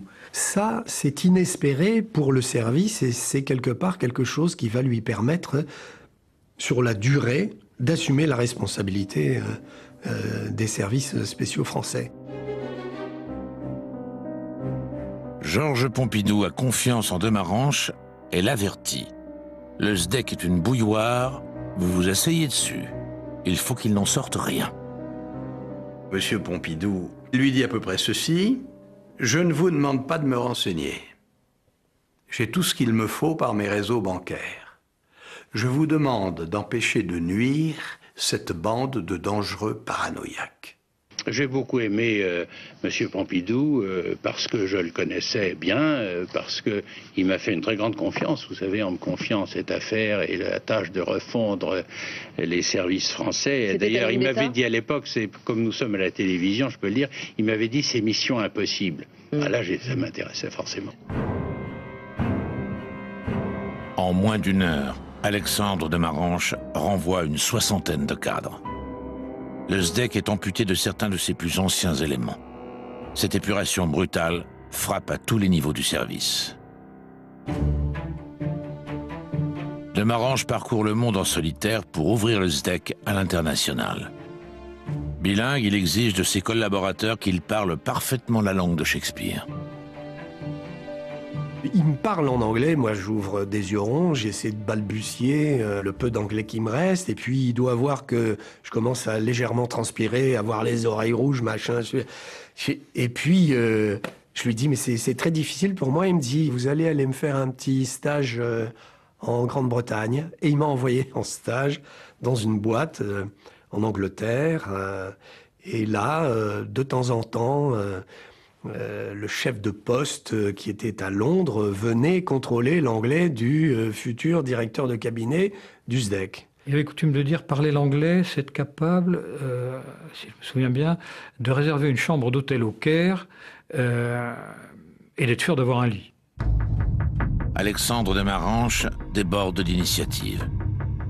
Il monte en 1976 le Safari Club, société exclusive dont les membres sont ses homologues du Maroc, d'Iran, d'Arabie, d'Égypte et du Zaïre. Il l'informe sur la marche de cette partie du monde. Grâce à lui, la France a pu récupérer un exemplaire de missile antiaérien soviétique SAM-7. Il sera ainsi possible d'en percer les mystères. Cette opération sauvera la vie de nombreux pilotes français. Alexandre de Marange fréquente les chefs d'État et tient son service d'une poigne de fer. Le but de Georges Pompidou est atteint. Si son chef est visible, le SDEC se fait oublier. Marange rendait compte à l'Élysée, à ceux qui étaient en charge de ce qu'on appelle les affaires réservées, il n'y avait aucun problème. Quand il n'y a pas de vague, c'est que les choses se passent bien, puisqu'on ne sait que ce qui échoue. Quand ça n'échoue pas, c'est pas qu'on ne fait rien, c'est que ça marche. Je sais que c'est un peu difficile à comprendre, mais c'est comme ça. On n'en finit jamais avec les services, car maintenant c'est au tour de la DST de provoquer un cataclysme. Le 3 décembre 1973, deux de ses fonctionnaires sont surpris alors qu'ils posent des micros au canard enchaîné. Le scandale est gigantesque. Watergaff, c'est le titre du canard enchaîné paru ce matin. Il consacre une large place à la découverte d'une équipe de poseurs de micros dans ses futurs locaux rue Saint-Honoré. J'avais un fil qui courait ici, les lames de parquet étaient enlevées. À ce moment-là, j'ai demandé à des types quelle entreprise vous emploie ici? Et le type s'est troublé, m'a dit euh, Je ne sais pas, j'ai oublié le nom. En sortant, je vois qu'un agent de police revêtu de son uniforme se trouve posté non loin de la porte euh, cochère. Il a un talkie-walkie en bandoulière, pas en bandoulière, en sautoir. Et juste quand je, passe, le talkie-walkie émet les phrases suivantes. Allô numéro 2, allô numéro 2, suivez le type qui sort d'ici. Nous, on décroche, euh, sauf qui peut, sauf qui peut. Ça a nué au service parce que rien n'est pire que de s'en prendre à un journal humoristique. Peut pas rigoler avec l'humour, hein Raymond Marcelin, le ministre de l'Intérieur, qui exerce la tutelle gouvernementale sur la DST, est pointé du doigt. Il n'assume pas. Au fond de cette affaire, il y a un règlement de compte politique. Comment ce règlement de compte politique se fait? Je pourrais vous indiquer toute une série d'événements qui vous frapperaient. Marcelin était un homme un républicain, un homme euh, très posé, un homme euh, très intéressant. Il a été intoxiqué par les informations, il est devenu un peu fou. Ce règlement de compte qui se fait contre moi, c'est parce que je fais mon métier. Mais le problème, c'est que les fonctions de renseignement changent les gens. L'imbibation d'informations sur des questions de vie et de mort, de trafic, des questions liées au crime, au terrorisme, à la drogue, aux mœurs, le fait d'avoir l'impression qu'on a deux vies, ça change souvent les gens. Ça les rend un petit peu schizophrènes. Et ça, on ne peut pas toujours le prévoir. La DST apparaît désormais comme une police politique. Sensible aux exigences de certaines factions du pouvoir, elle s'affranchit des règles de droit quand il s'agit d'espionner la gauche, dont fait partie à ses yeux le canard enchaîné. Le fusible Marcelin saute, le premier flic de France devient ministre de l'Agriculture. Jacques Chirac le remplace au ministère de l'Intérieur. C'est paradoxal de passer de l'intérieur à l'agriculture. Enfin, ça paraît un peu paradoxal. Mais vous avez tort. Ça n'est pas paradoxal du tout de passer de l'intérieur à l'agriculture. L'agriculture est un très grand ministère en France et où il faut effectivement euh, agir beaucoup comme a agi Jacques Chirac. Et qui est appelé à devenir de plus en plus important. De plus en plus important. Le jeune Chirac souhaite dissoudre la DST et répartir ses missions entre les renseignements généraux et le SDEC.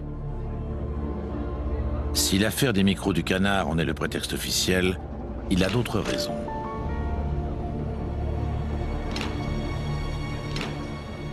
Jacques Chirac était fiché à la DST, euh, notamment pour euh, une, aventure avec une hôtesse de l'air euh, soviétique qui avait fait les, les bonheurs du Nouvel Observateur d'ailleurs à une époque. Chirac constitue une visée opérationnelle des services spéciaux soviétiques. Lors d'un voyage à Moscou, une femme nommée Fedorova Aleftina, utilisée par le KGB, s'était forcée de le séduire.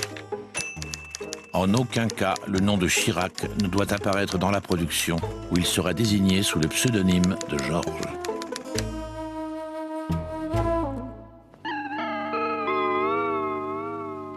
Nous interrompons ce film. Le président de la République est mort. Un communiqué du secrétariat général de la présidence de la République vient de signaler que M. Georges Pompidou était décédé à 21h ce soir. En avril 1974, le président Pompidou meurt d'une septicémie foudroyante. Les ministres se rendent à l'Élysée au chevet du défunt. Quelques heures plus tôt, Alexandre de Maranche, directeur du SDEC, a été appelé. Il faut ouvrir le coffre-fort du président. Un perceur de coffre du SDEC, garantie de totale discrétion, est introduit en urgence à l'Élysée, direction la salle de bain où se trouve le coffre-fort présidentiel. De Maranche attend, assis sur la baignoire en présence de deux témoins, l'éminence grise du défunt Pierre Juillet et son fils Alain Pompidou. Le président se savait condamné, il aura peut-être laissé des dispositions testamentaires. Non, il est exact qu'ils ont fait ouvrir un coffre. Je sais pas ce qu'ils y cherchaient, mais ils ont fait ouvrir un coffre. On n'y trouvera aucun testament, mais peut-être y cherchait-on autre chose. Je peux pas vous dire ce qu'ils cherchaient. Ça, je sais pas. Votre oncle, il vous l'a raconté. Si je vous le dis.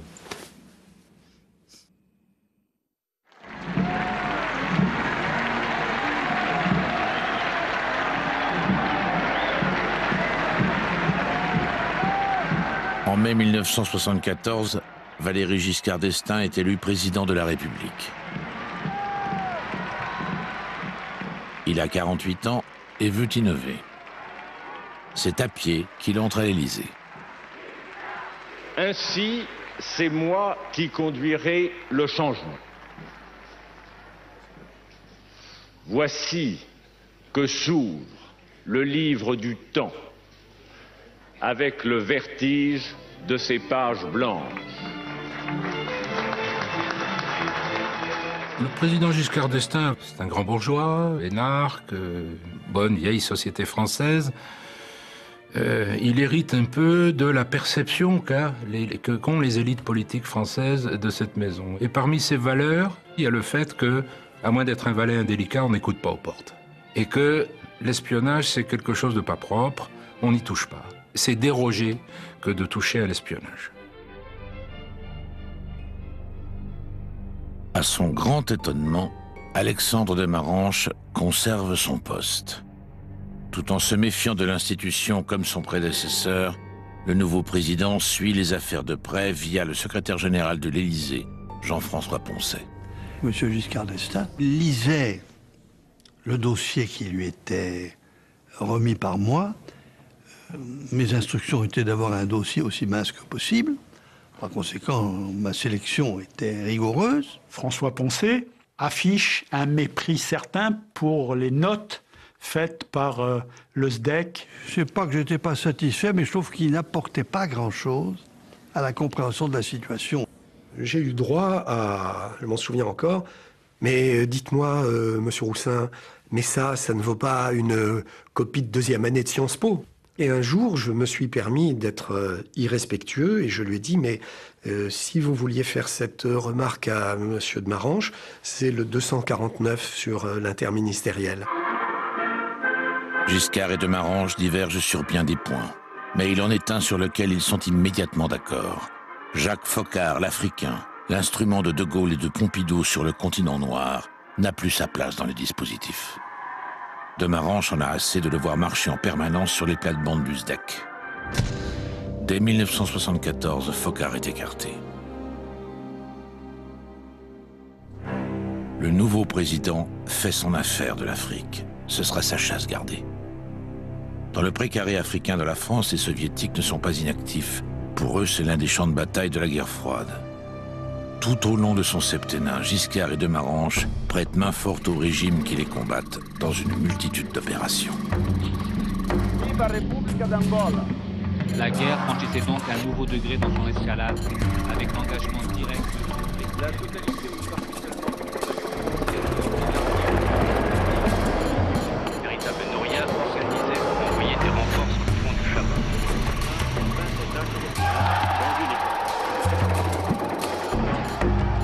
Messieurs, bonsoir. Il n'y a plus d'empire centrafricain, il n'y a plus d'empereur, il n'y a plus de centrafricain. On a renversé l'empereur Bokassa.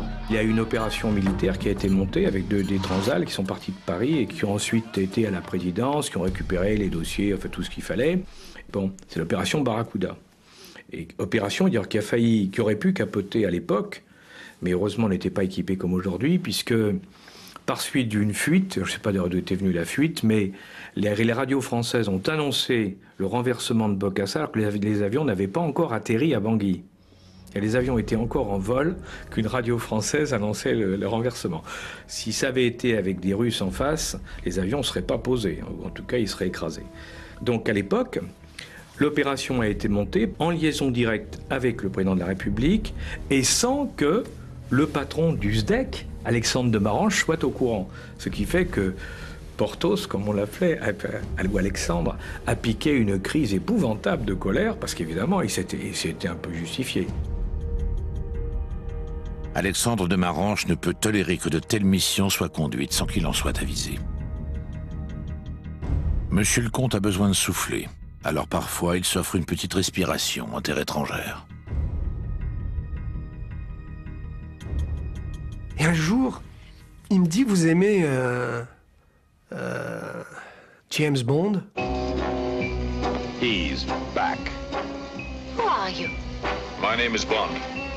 James Bond. Je dis, monsieur le directeur général, c'est formidable, oui. Il me dit, mais comment pouvez-vous imaginer que j'aille, moi j'adore ça, sur les Champs-Élysées, faire la queue, rentrer dans un cinéma, même si vous m'accompagnez, enfin, c'est, je suis trop visible, c'est pas possible. Donc on va aller voir Sir Dickie Franks à, Londres et puis euh, il le passe à Londres. Je dois m'occuper du déplacement. non, on va prendre l'avion du service. Alors on avait à Toussus le Noble un, un biturbo propulseur et puis nous voilà partis au cinéma. Good evening, 007. Je suis en train de voir ce James Bond assis à côté de mon directeur général, qui déborde un peu sur mon fauteuil, donc je suis un peu décalé, moi, sur la droite, et je me dis, nous, on est des bricoleurs. Là, quel talent, c'est formidable si on pouvait arriver à ça. La vie rêvée des agents secrets et celle des vrais espions n'ont rien de commun. À ceci près que les gadgets existent pour de bon. Le tout, c'est de les trouver. Quand les espions du monde soviétique posent des micros, ils font si peu dans la dentelle qu'ils peuvent transformer l'ensemble d'un bâtiment en studio d'enregistrement. En 1973, les Polonais livrent la nouvelle ambassade de France à Varsovie. Les spécialistes du dépoussiérage du SDEC, la mission Aspiro, viennent rechercher dans les bâtiments d'éventuels micros laissés par les plombiers polonais. Ils ont trouvé une quantité de micros invraisemblable et c'était tellement compliqué de retirer ces micros en n'étant euh, pas sûr d'avoir tout retiré, donc euh, en, laissant un doute que euh, finalement le service a intégralement démonté les cloisons, les planchers, les plafonds, les tapisseries de l'ambassade de, de, France à Varsovie. Ils ont préféré, si mes souvenirs sont bons, faire une tranchée autour du bâtiment et ils ont été profonds et ils ont coupé toutes les paires de câbles qui sortaient. Ils ont mis l'ambassade dans le noir, mais tant pis, on va remettre le courant, mais on va vérifier qu'il n'y a bien que de l'électricité euh, qui, passe. Il était tellement truffé que, que ça devenait impossible. Les plombiers avaient même tiré des câbles coulés dans le béton. Il faudra trois mois de travail aux hommes du SDEC pour étanchéifier l'ambassade. En 1975, les nettoyeurs sont à Prague les Tchécoslovaques ont généreusement offert le ravalement de l'ambassade, le palais bucois. Cette fois, il faudra l'intervention des pompiers pour nettoyer l'édifice. On découvre des micro-émetteurs à haute fréquence, sans fil donc, dans les cales des échafaudages. Les locaux diplomatiques réservés aux SDEC avaient été particulièrement soignés Installés dans le plafond, les micros émettaient en stéréo. Et les Français écoutent-ils également les diplomates de l'autre camp? La DST surveille les actions des soviétiques postés à Paris dans l'ambassade du boulevard Lannes. On connaissait un petit peu tout. Et il y a des gens euh, qui venaient le matin en disant Oh, ça va pas très fort aujourd'hui. Je dis Pourquoi? En bas, il y a le petit euh, du, du, premier secrétaire de l'ambassade qui est malade et ils attendent le médecin, quoi. Vous aviez des micros dans l'ambassade? Non, mais c'était. Ils n'étaient pas dans l'ambassade.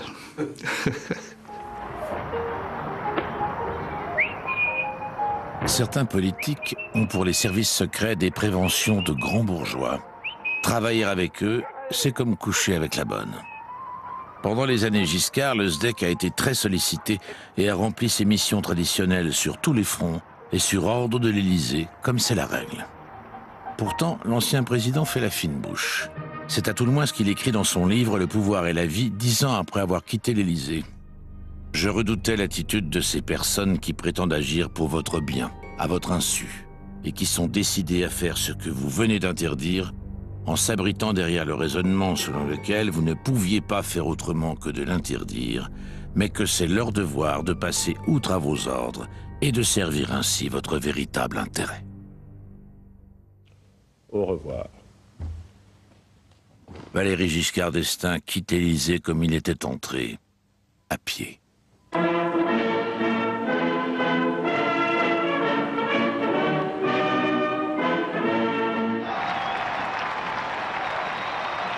L'arrivée de la gauche au pouvoir en 1981 tétanise les services, comme tout l'appareil de sécurité français.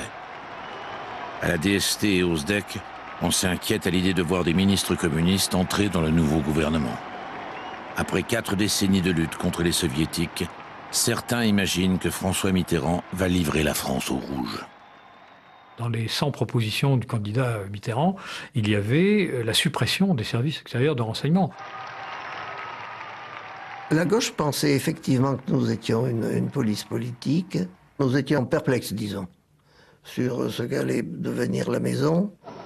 Il est 9h au palais de l'Élysée. Les journalistes du monde entier se pressent pour immortaliser cet instant tant attendu par les uns, tant redouté par les autres. L'arrivée des ministres communistes, arrivée qui provoquera une bousculade, comme n'en ont guère connu les marches du palais, qui en ont pourtant vu beaucoup d'autres.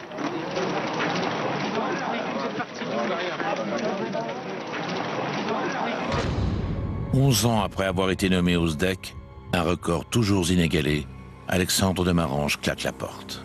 faut savoir que Mitterrand, au départ, voulait garder Marange. C'était Marange qui a refusé. Et il a refusé parce qu'il voulait pas entendre parler de ministre communiste à la, à la- au SDEC. Et ça, il l'a dit. Il a dit, moi, je ne je laisserai jamais un ministre communiste rentrer ici. Et du coup, il est parti. Et à la fin, le jour où on va se quitter, euh, en 1981, il me prend dans ses bras et il me dit Michael, be very careful, keep the flag floating. Il me laisse debout en race campagne et lui rejoint le Conseil d'État. Mais vous avez noté qu'à la fin, quand même, quand je prononce aujourd'hui keep the flag floating, euh, j'ai progressé. François Mitterrand se méfie des services de renseignement. Il ne veut pas d'ennui, mais la gauche n'a préparé personne à de telles fonctions. Naguère, le programme commun de gouvernement avec les communistes prévoyait la suppression du SDEC. Il n'est plus en vigueur, mais qu'en est-il de cette intention? François Mitterrand ne dit rien. L'entrée du président socialiste à l'Élysée est signe de doute et d'incertitude pour les services de renseignement. Comment passeront-ils ce cap?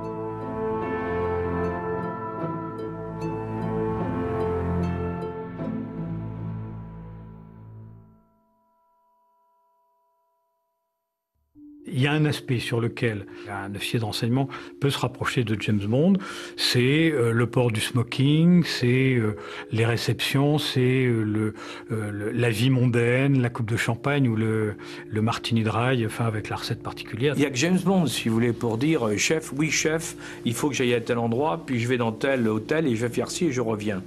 Euh, ça, c'est pas vrai. Le pistolet, euh, les lanas, les gadgets, les trucs, les machins, etc. Ah non, rien à voir. Parce qu'en réalité, ça va se passer, vous allez dans le pays, on va vous récupérer à l'aéroport d'une manière ou d'une autre, on va vous expliquer comment ça se passe, vous allez récupérer votre matériel ailleurs, il faudra une autre personne qui vous l'amène. Enfin, il y a toute une série de... Il y a tout un réseau qui va fonctionner. La réalité des, des services secrets est beaucoup plus complexe et moins sanglante, heureusement. C'est pas du tout Bond. C'est un travail de fourmi et de méticuleux et de, et de passionné aussi. L'idéal pour un, un maître espion, c'est que personne ne le connaisse, que- qu'on n'entende jamais parler de lui, ni de ses réussites, ni de ses échecs. C'est le, le plaisir du gourmet. Le renseignement, c'est un métier de seigneur. Parce qu'il parce qu'il faut que ce soit des gens vraiment bien pour faire ce métier de voyou sans devenir des voyous.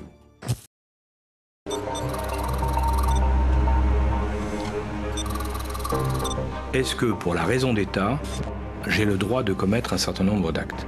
Et est-ce que je peux le faire face à ma propre conscience et à ma propre morale? On a décidé à l'époque de monter un service d'exécution que j'ai appelé tout de suite Murder Incorporated. On a le droit de commettre toutes les turpitudes à condition de ne pas se faire prendre. C'est ça la grande morale. Service de renseignement ne peut pas être dirigé comme un service ordinaire.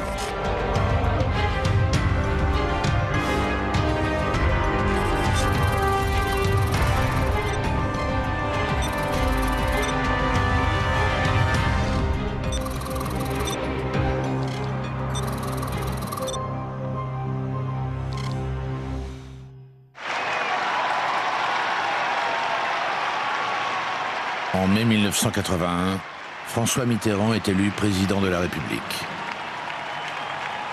Les services de renseignement ne voient pas d'un très bon œil l'arrivée des socialistes au pouvoir. L'entrée de ministres communistes au gouvernement n'arrange rien. En ces années de guerre froide, même les alliés fidèles de la France, comme les États-Unis, se cabrent et s'interrogent sur la fidélité de la France et de son gouvernement social-communiste. Le numéro 2 américain à l'Élysée, George Bush, vice-président, a déjeuné aujourd'hui avec François Mitterrand. Justement, la, la présence de ministres communistes au gouvernement français a été l'un des premiers sujets de discussion avec François Mitterrand.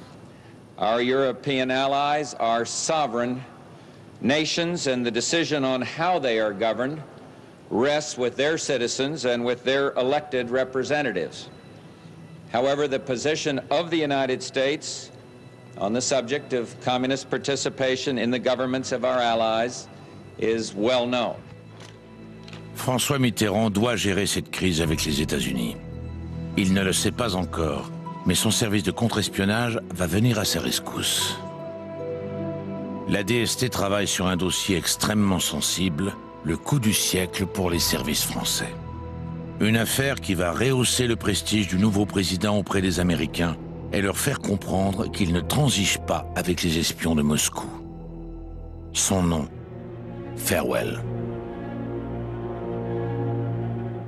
Au printemps 1981, Vladimir Vetrov, un agent du KGB, prend contact avec la direction de la surveillance du territoire. Dans les années 60, son service l'avait envoyé en poste à Paris, le paradis sur Terre pour un soviétique. Comme son épouse et leur fils, il se prend de passion pour la France. Au terme du séjour, le retour à Moscou est brutal. Vetrov ne progresse pas quand ses collègues grimpent les échelons. La déception fait place à la haine contre le KGB. Il veut le détruire, il va le trahir. Il va livrer à l'Occident le trésor de guerre du KGB, les fruits de son pillage technologique dans tous les pays capitalistes. Des milliers de documents d'une valeur inestimable arrivent sur les bureaux de la DST. C'est une affaire considérable, la plus énorme que la DST ait traitée sur le monde communiste au XXe siècle. Cette affaire doit rester ultra secrète. Le directeur du contre-espionnage lui donne aussitôt un nom de code, Farewell. Vous savez pourquoi j'ai choisi ce nom-là? Parce que hum, Farewell, ça pouvait laisser penser à supposer qu'il y ait une fuite quelque part. Que c'était forcément une affaire euh, anglo-saxonne, disons.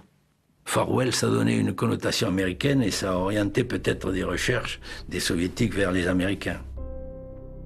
Si la règle avait été suivie, c'est le SDEC, renommé en 1982 DGSE, qui aurait dû être saisi, car l'affaire se déroule à l'étranger, à Moscou.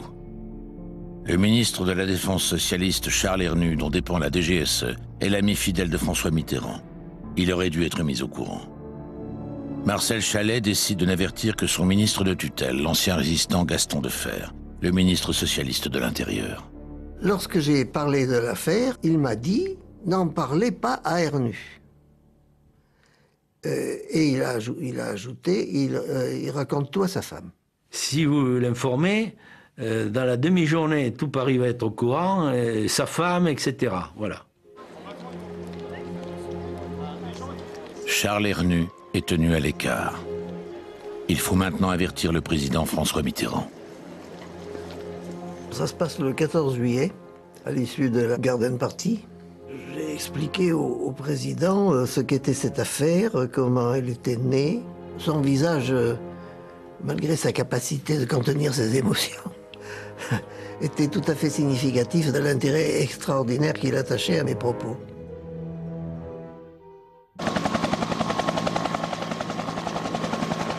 Le 19 juillet, cinq jours après avoir été mis au courant, François Mitterrand se rend au sommet du G7 à Ottawa.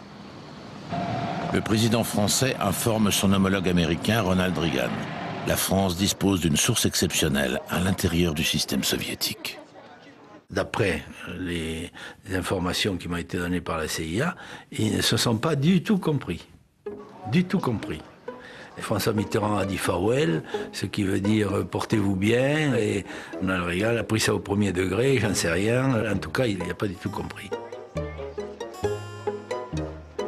Que Reagan soit au courant ne change rien, les espions soviétiques poursuivent leurs opérations. Il est urgent que les chefs de service se rencontrent pour parler plus en détail de l'affaire. Marcel Chalet part à Washington rencontrer le vice-président George Bush, ancien patron de la CIA. Le voyage aux États-Unis était évidemment nécessaire et même urgent, puisque Farewell nous avait appris que le système de couverture radar qui commandait la protection des États-Unis contre une attaque nucléaire, par exemple, et le système de protection de la Maison Blanche elle-même était connu euh, des Soviétiques. Il était urgent de dire aux Américains que leur système avait été démasqué et qu'il fallait qu'ils le changent. Le patron de la DST rencontre tous les dirigeants de l'appareil de sécurité américain et leur révèle l'ampleur de la moisson moscovite. Cette révélation, ils, la reçoivent avec une extrême surprise. George Bush a dit que c'était probablement une des percées les plus significatives depuis la, la Seconde Guerre mondiale dans le système soviétique. This is obviously the most significant breakthrough of the Iron Curtain. J'ai entendu ça avec beaucoup de, de, plaisir, mais ça correspondait bien à l'image que je m'étais déjà faite de, de cette affaire et des perspectives qu'elle offrait. Bien que l'affaire se déroule depuis près de deux ans à l'extérieur du territoire, le nouveau directeur de la DGSE, l'amiral Pierre Lacoste, n'est pas davantage mis au courant que son prédécesseur. La DST ne m'a pas mis au courant de euh, l'affaire Farwell. Ça n'a pas effleuré notre esprit, monsieur. Ça n'a pas effleuré notre esprit. Et j'ai le souvenir d'une scène absolument fantastique où un colonel de la DGSE qui était chargé du contre-espionnage, il me dit, vous savez, à Moscou, c'est impossible de traiter la moindre affaire.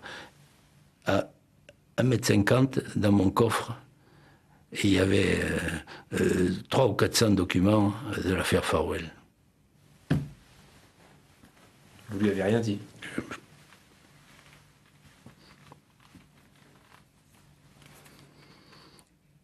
C'est un excellent ami, mais... En fait, euh, c'est une très grande opportunité que ce soit la DST qui ait traité euh, le dossier Farewell. Parce que si ça avait été un agent de la DGSE, les soviétiques n'auraient pas manqué de l'intercepter. Mais c'est parce que ça a emprunté des voies tout à fait anormales, d'anormal dans la logique administrative, que l'affaire Farewell a réussi. En 1983, la DST n'a plus de nouvelles de Vetrov depuis plus de dix mois. À Moscou, il ne vient plus au rendez-vous habituel avec son officier traitant. Peu importe. La DST a accumulé assez de preuves. L'heure de la riposte a sonné. Le préfet Yves Bonnet, son nouveau directeur, sollicite un entretien avec le président de la République pour prendre ses instructions. Et à la fin de mon exposé, euh, François Mitterrand me demande euh, Et alors, que me proposez-vous? Je lui ai dit Je vous propose l'expulsion d'une quarantaine euh, d'officiers de renseignement de l'ambassade d'Union soviétique à Paris. François Mitterrand me, répond aussitôt Allez-y. Il me répond si vite que j'ai un petit trouble. Je me dis, est-ce que est-ce qu'il a bien compris euh, Est-ce que je me suis bien fait entendre? Et donc je réitère ma question, quitte à paraître un petit peu insolent, mais supposer que on se mette à expulser une quarantaine de diplomates soviétiques alors que le président n'avait pas très bien compris, ça ferait, comme on dit aujourd'hui, ça ferait désordre. Donc je, je renouvelle ma question et il me répète les mêmes mots, allez-y. Aval euh, du, président, et qui a quand même dit, dit euh, tant que les, ces propos m'ont été rapportés, euh, vous avez quand même eu la main un peu lourde. Expulsion? Au Quai d'Orsay, on n'aime guère le procédé. Mais on vient de découvrir que les telex de l'ambassade de France à Moscou sont truffés de micros et que le pillage durait depuis cinq ans. Humiliés, les diplomates acceptent les mesures de rétorsion. Le 27 mars 1983, le Quai d'Orsay informe l'ambassade du RSS que plusieurs membres de son personnel seront déclarés personnes non grattés et expulsés. François Cher, directeur de cabinet du ministre des Relations extérieures, reçoit la désagréable mission d'informer l'ambassade soviétique à Paris en la personne de Nikolai Afanasievski, venu protester contre cette décision. Je le reçois tard, 21h, 21h30 le soir, dans mon bureau au Quai d'Orsay. Je lui communique, c'était le scénario euh, que, euh, dont, que j'étais convenu avec, avec Bonnet, je lui communique euh, le, document euh, soviétique euh, qui faisait clairement valoir tout ce que nous savions en ce domaine. Je le lui tends, il le consulte d'un air dédaigneux. Quand le haut fonctionnaire du ministère français des Affaires étrangères a convoqué l'ambassadeur russe à Paris, en lui disant, Monsieur l'ambassadeur, vous faites de l'espionnage, c'est inadmissible, voilà la preuve. Et il lui a montré un rapport ultra secret fourni par Farwell. Qu'est-ce qui s'est passé de l'autre côté? L'ambassadeur était tout sauf un idiot, surtout qu'à l'époque, les ambassadeurs russes, ils en savaient un bout sur les services. Il a bien regardé le papier en question, et l'enquête a été lancée en Russie en disant qui a eu connaissance de ce papier? Qui a pu l'avoir entre les mains? Et progressivement, ils sont arrivés à la conclusion qu'il n'y en avait que cinq ou six. Farwell était mort.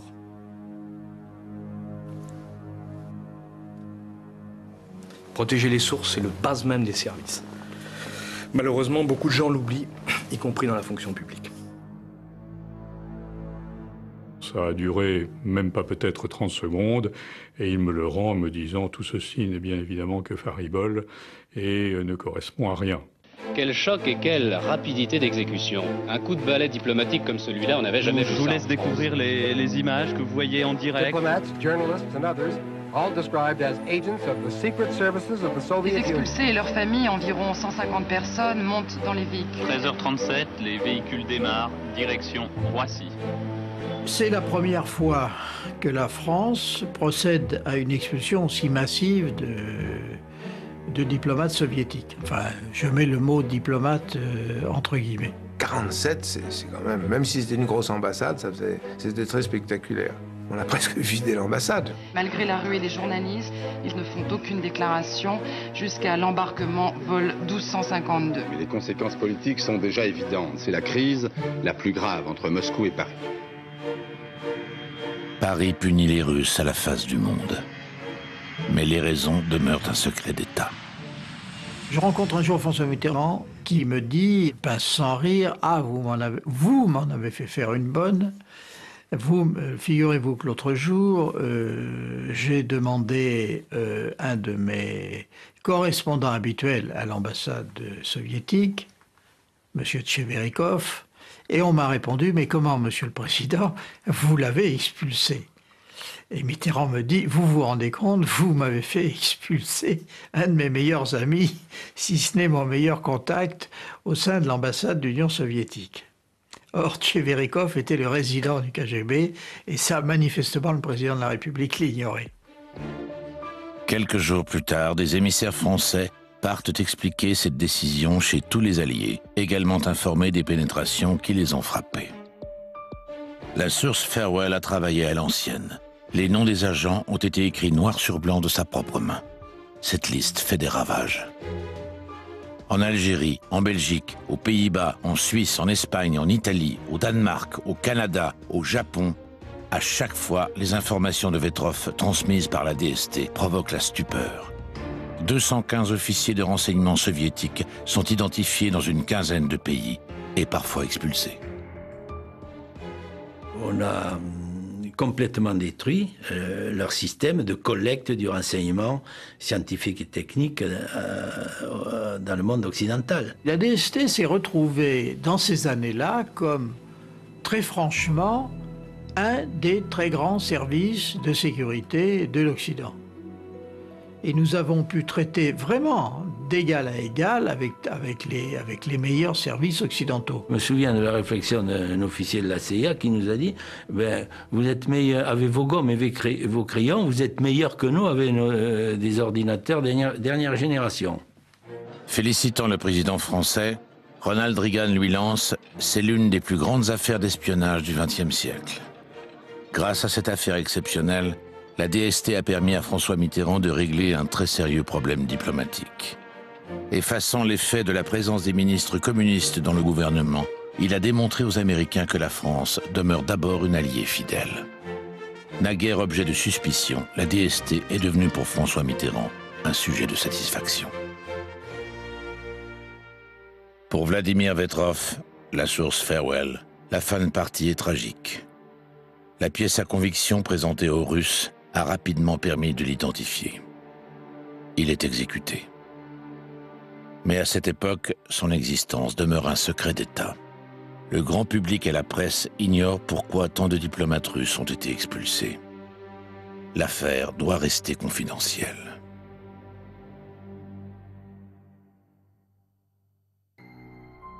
Deux ans plus tard, en 1985, Yves Bonnet constate que les espions russes ont repris du service. Il veut leur donner une leçon.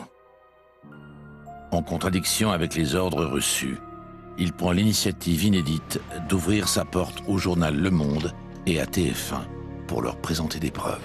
Là, depuis le printemps 83, un document ultra confidentiel sommeille dans une armoire forte. C'est la pièce maîtresse du dossier d'expulsion. Les quatre premières pages passent en revue la documentation et les échantillons technologiques pillés par les agents soviétiques. Yves Bonnet donne le même document que celui que Afanasievski avait lu et il avait blémi dans le bureau de François Cher, c'est-à-dire le document le plus secret de l'affaire publié dans le monde. Bonnet a même organisé une visite, pratiquement, de service de la DST pour... Euh, alors, lui disait que c'était pour l'intérêt de la maison, pour l'image de la DST, donc du ministère de l'Intérieur, donc de vous, monsieur le ministre. Moi, je pense que c'était une énorme connerie de sa part. Le directeur de la DST a pris une initiative contestable. Elle risque d'œuvrer contre la diplomatie française.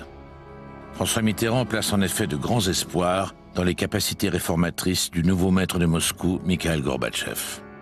L'initiative d'Yves Bonnet risque de jeter à terre la relation franco-soviétique. Lorsque François Mitterrand euh, lit Le Monde, avec l'article de Plenel, c'est un déchaînement de fureur. Ah bah ça l'a stupéfait. il était sidéré. Il a commencé à m'engueuler. Je bah oui, d'accord, engueulez-moi. Mais enfin, c'est pas moi qui ai nommé Bonnet. Et après ça, quand il continue à m'engueuler, je lui dis, mais attendez, moi, je suis dans ce cas-là, pour Bonnet, on le vire demain matin. On le remplace au Conseil des ministres suivant. Ah non, parce que vous comprenez, c'est quand même quelqu'un qui, quelqu'un que, etc. Alors tout le monde s'émeut. Euh, le secrétaire général de l'Élysée, Bianco, m'appelle.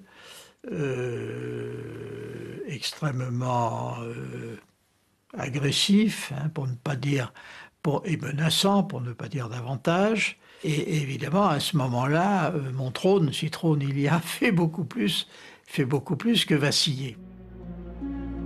François Mitterrand ne pardonne pas. En cherchant à faire valoir ses efforts et ses succès, la DST convainc surtout le président qu'elle complote contre lui, afin de gêner le rapprochement franco-soviétique. Décidément, le malentendu entre service et pouvoir est profond. Yves Bonnet est remercié. L'événement de 85 a complètement détruit ce qui avait été construit avant. C'est-à-dire qu'on avait rétabli en quelque sorte le courant entre euh, euh, le pouvoir politique et la DST. Tout, tout, tout d'un coup, tout s'écroulait.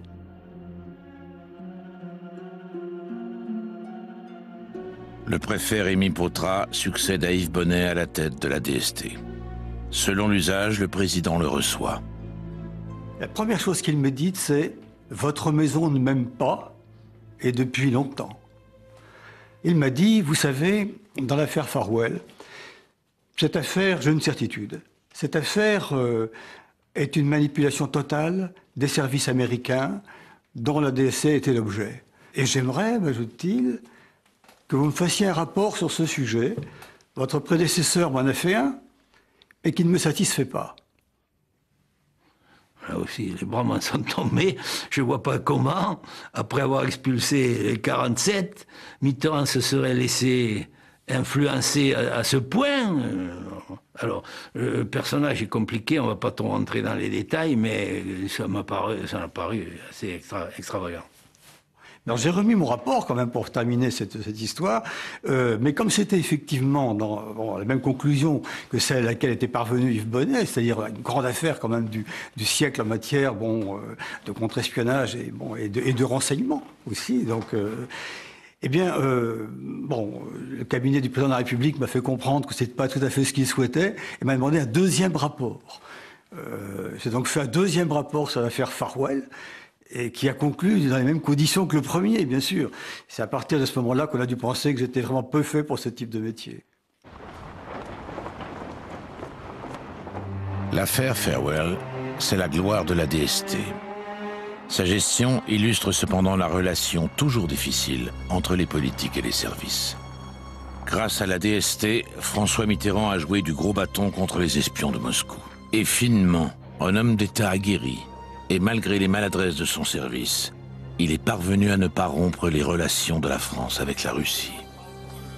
Mais Mitterrand joue sur deux tableaux. Derrière la façade diplomatique, il a conscience de la guerre de l'ombre qui s'opère contre l'URSS. Le président français a bien senti que le géant soviétique est affaibli. Il ne veut négliger aucune occasion de le pousser dans ses retranchements, y compris en le confrontant les armes à la main. Clandestinement, il envoie la DGSE au combat, cette fois en Afghanistan. En décembre 1979, Moscou y a envoyé son armée. Une guerre est née. Les Américains ont engagé des opérations clandestines. Les Français ne sont pas loin. Du côté de Kaboul, les dessous de la guerre froide sont bel et bien brûlants. Les Afghans ont commencé à organiser leur résistance. Ils savaient se servir de fusils, euh, c'est à peu près tout mais ils n'avaient pas de connaissances sur la manière de se battre en situation de guérilla. Donc nous avons formé des personnels, d'abord en France, et ensuite nous les avons amenés sur le terrain pour mener des opérations. On a organisé en parallèle, bien entendu, euh, au départ de, Djibouti, euh, des livraisons de matériel d'infanterie, de matériel semi-sophistiqué, comme les engins tactiques anti-chars. On travaillait avec euh, Massoud. Nous avions réussi à mettre en place des méthodes qui euh, ont permis à la guérilla de s'implanter. Le principe des Russes étant d'essayer de faire partir euh, la population. Et nous, notre principe était de permettre à cette population de rester sur place pour qu'une guérilla puisse y vivre. Nous avons bien réussi à le faire. Ça a été beaucoup plus discret que les Américains. Nous sommes toujours plus discrets que les Américains. Pendant que les agents du service Action font le coup de feu en Afghanistan, d'autres fronts s'ouvrent. Pour les armées françaises, les années Mitterrand sont particulièrement actives. À Beyrouth, elles tentent de s'interposer entre les musulmans et les chrétiens. Dans l'Orient compliqué, elles vont subir un coup terrible.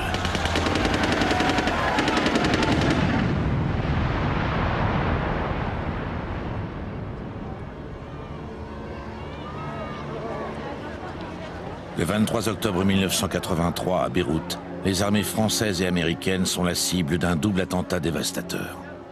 Le casernement des Marines est touché, de même que l'immeuble Drakkar qui abrite les forces françaises. 241 Marines américains sont tués, ainsi que 58 parachutistes français. Un massacre.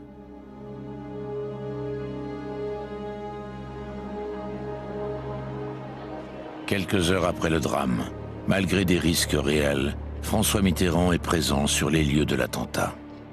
Il décide de riposter. La DGSE reçoit des directives. La nouvelle théorie consiste à frapper vite et fort ceux que l'on soupçonne de vouloir porter atteinte aux intérêts français. Politiquement erronée et techniquement impraticable, cette attitude conduira le service action à perdre ses repères.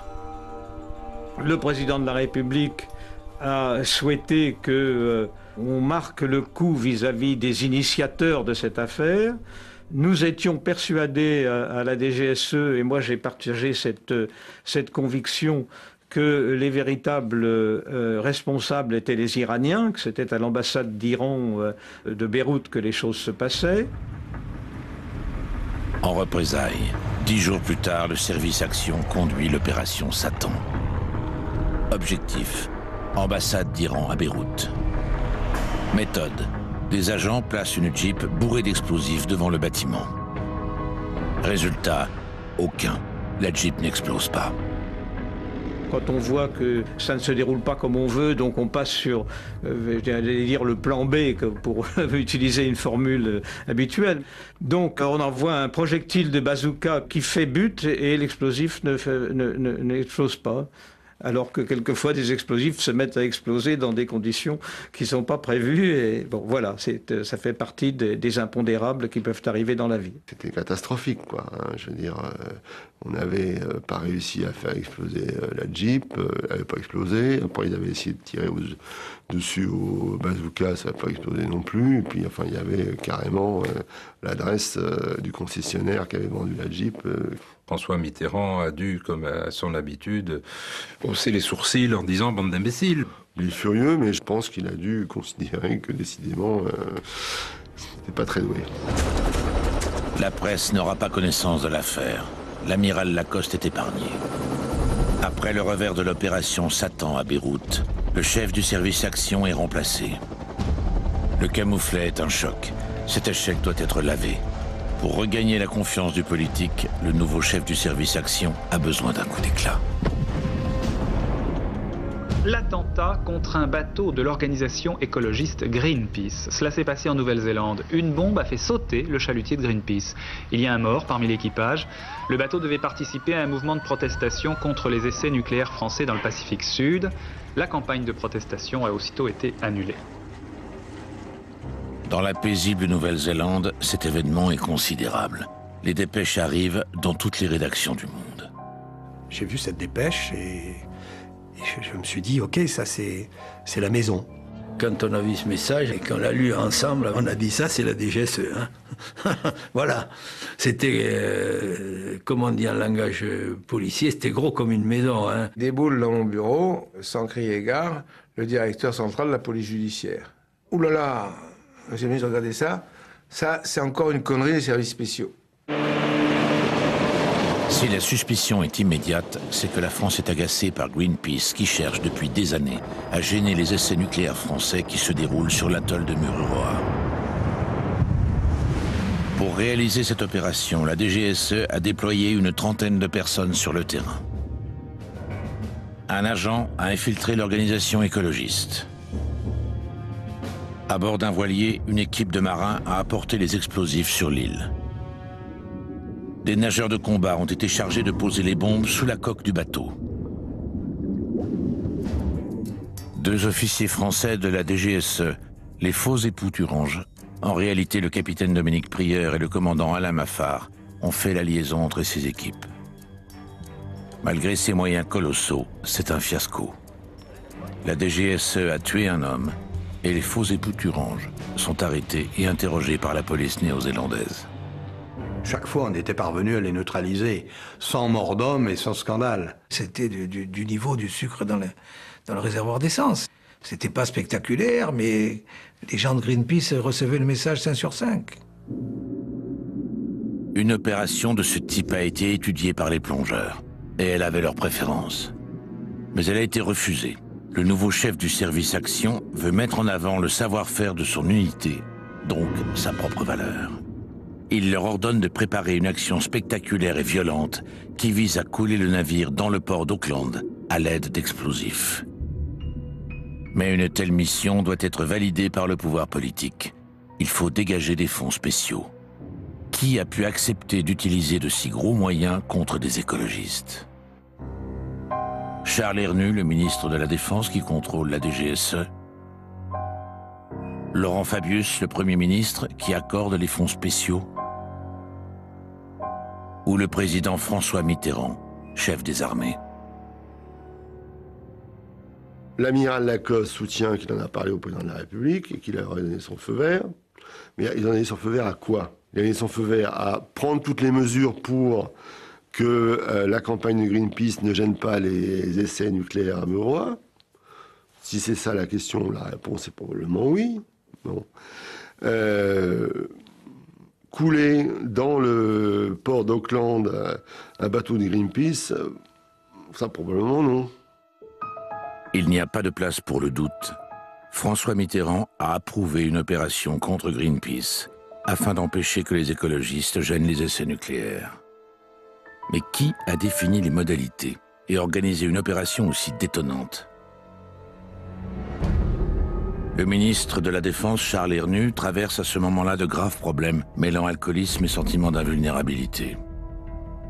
C'est lui qui donne le feu vert à cette opération aberrante, envoyé par le fond un vieux chalutier qui voulait gêner des essais nucléaires.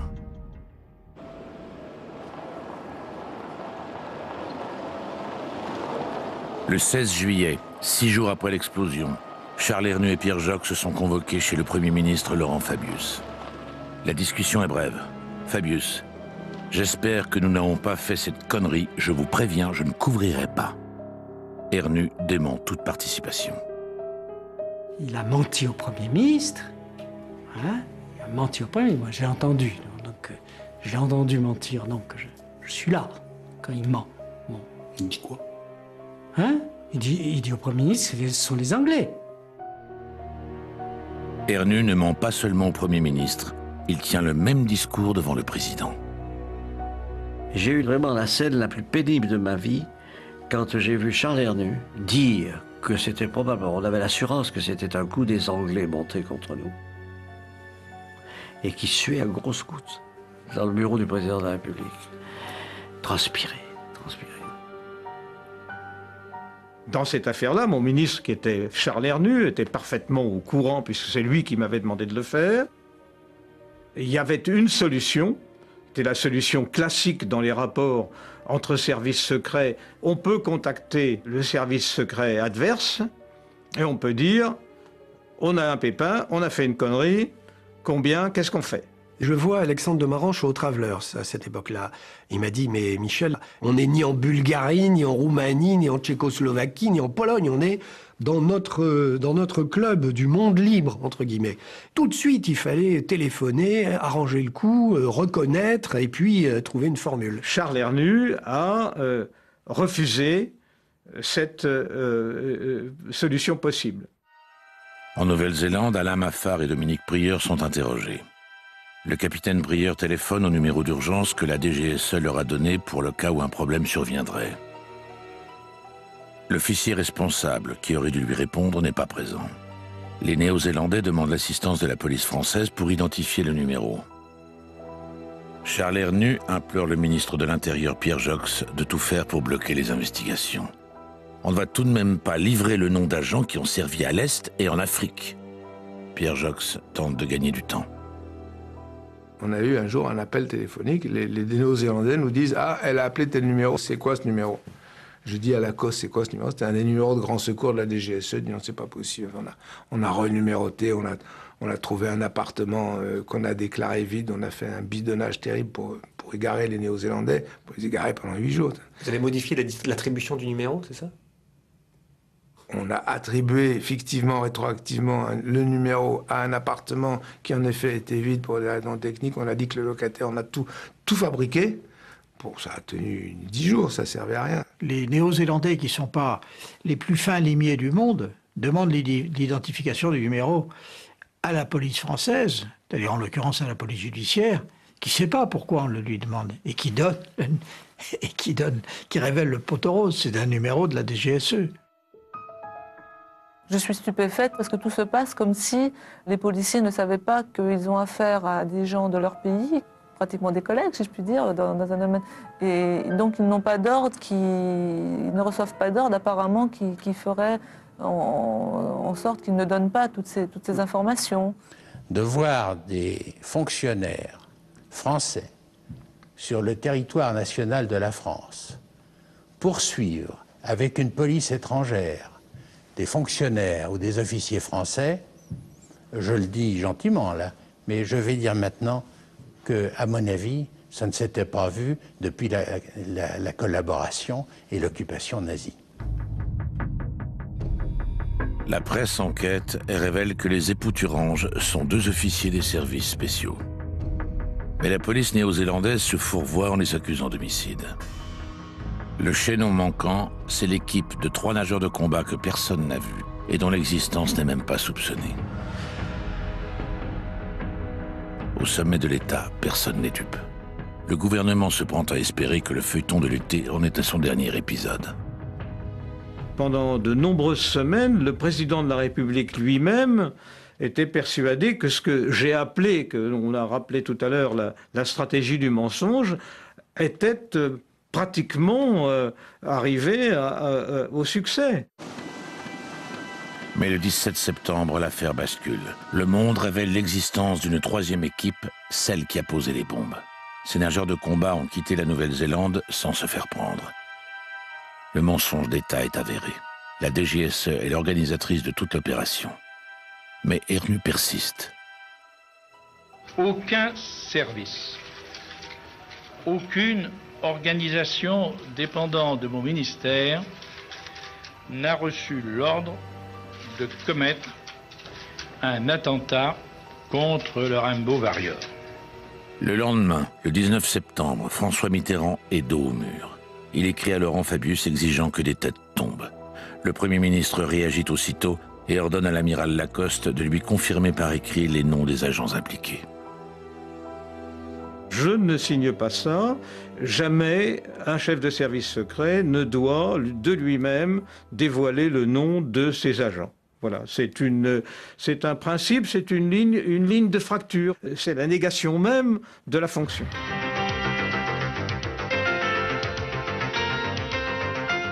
Charles Hernu, ministre de la Défense, a démissionné ce matin. L'amiral Lacoste, directeur des services secrets, est limogé. Bonsoir. Raison d'État. Le président de la République, François Mitterrand, a accepté la démission du ministre de la Défense, Charles Hernu, que celui-ci avait présentée au Premier ministre ce matin. Est-ce que le président de la République vous a renouvelé sa confiance? Ben, Il a rendu public un texte tout à l'heure. Vous a-t-il réconforté? Mais je suis pas, c'est pas mauvais moral. Il n'est pas lâché. Il, il est, il subit la sanction politique d'une grave erreur politique qu'il a commise. C'est pas être lâché, on n'est pas sur un terrain moral. Monsieur le ministre, s'il vous plaît. S'il vous plaît. Charles Herny, c'était un brave type, mais euh, faisant un peu. euh, prenant trop de risques et faisant un peu n'importe quoi. Pour Charles Hernu, c'est la mort politique. Laurent Fabius contacte Paul Quiles. Et le Premier ministre me dit voilà, le président de la République souhaite que tu remplaces Charles Hernu comme ministre de Défense. Bah, je ne pas question. Je pensais que c'était une affaire pourrie, quoi. C'est pour ça que quand on m'a proposé ministre de la Défense, je dis c'est gentil, mais on me demande à moi de venir euh, dénouer une affaire pourrie, c'est quand même pas très agréable, quoi. Et puis, euh, le directeur de cabinet me dit la phrase euh, qui tue tu ne peux pas refuser et faire ça au président de la République. Charles Hernu m'a dit que je trouverais les dossiers en bon ordre. Mais ce qui était intéressant, c'est parce qu'il y avait dans les dossiers ce qui n'était pas. Et qu'il fallait retrouver, et qu'on a retrouvé en 48 heures. Eh Mais vraiment un travail de juge d'instruction. C'est-à-dire qu'on a interrogé les uns, les autres, euh, dans une pièce, dans une autre, on les a fait se contredire, et puis on est arrivé euh, au bout de l'élucidation. Ce sont des agents de la DGSE qui ont coulé ce bateau. Ils ont agi sur ordre. Mesdames et messieurs, la vérité sur cette affaire est cruelle. Mais il importe, comme je m'y suis engagé, qu'elle soit clairement et totalement établie. La situation se pose toujours de la même façon. Donc, euh, est-ce que le pouvoir politique assume ou est-ce qu'il n'assume pas? Le fiasco, c'est d'avoir dévoilé dans cette affaire que c'est au nom et pour le compte de la République française que l'opération avait été menée. C'est ça le fiasco. Fiasco, c'est d'avoir soulevé les jupes de Marianne et montré son derrière à tout le monde. politique, euh, et je le dis euh, de façon très, précise, étant incapable de, gérer sa, propre pulsion et contradiction avec, euh, son service. Et entrant dans une espèce de vrille infantile du parapluie pour se protéger c'est ne rien comprendre que d'accuser les services de renseignement de faire dans l'illégalité. Bien sûr qu'ils font dans l'illégalité. Ils font même que ça. Parce que pour les actions légales, l'État a suffisamment de fonctionnaires, de diplomates, de militaires, de juges, de policiers. Si tous les États du monde entretiennent des services spéciaux, je dis bien spéciaux, pas secrets, parce que ce pas des services secrets, tout le monde sait où est la DGSE, la CIA ou l'MI6, c'est pouvoir faire des, pouvoir faire des opérations spéciales, pour pouvoir s'affranchir de la légalité et des engagements internationaux. Quand on est officier de renseignement, qu'on donne, euh, on est prêt à donner sa vie pour euh, la défense du pays, parce qu'on va quand même jusqu'à ce niveau-là, et nos familles le savent, euh, on attend du politique quand même un petit peu plus de tenue. Devant la justice néo-zélandaise, Dominique Prieur et Alain Maffard plaident coupables. Ils sont condamnés sans procès à 10 ans de prison. Même si la France obtiendra leur libération en juillet 1986, leurs noms sont publiés, leurs visages sont exposés, leur carrière est terminée. Officier de tradition, l'amiral Lacoste a sombré sans dire un mot. Il assume sa part de responsabilité et ne s'en plaindra jamais. Je mourrai en pensant à cette affaire. C'est effectivement euh, un aveu d'échec. Bon, euh, je, je suis relativement serein parce que euh, quand j'ai accepté ce, poste, j'ai accepté cette éventualité.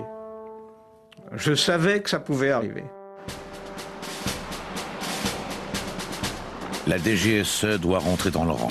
Le 25 septembre 1985, le gouvernement choisit de nommer à sa tête le chef d'état-major de l'armée de terre, le général René Imbaud, ancien légionnaire, un homme à poigne.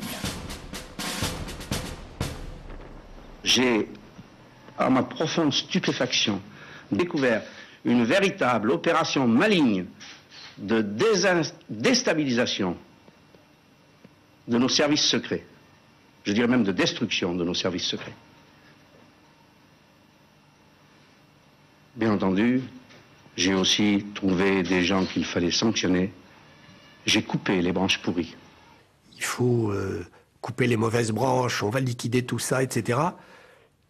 Dans la maison, ces messages ne passent pas. Chacun fait modestement sa part de travail, l'a fait honnêtement, l'a fait loyalement, et, on se fait traiter de branche pourrie. Et je serai le rempart de ce service.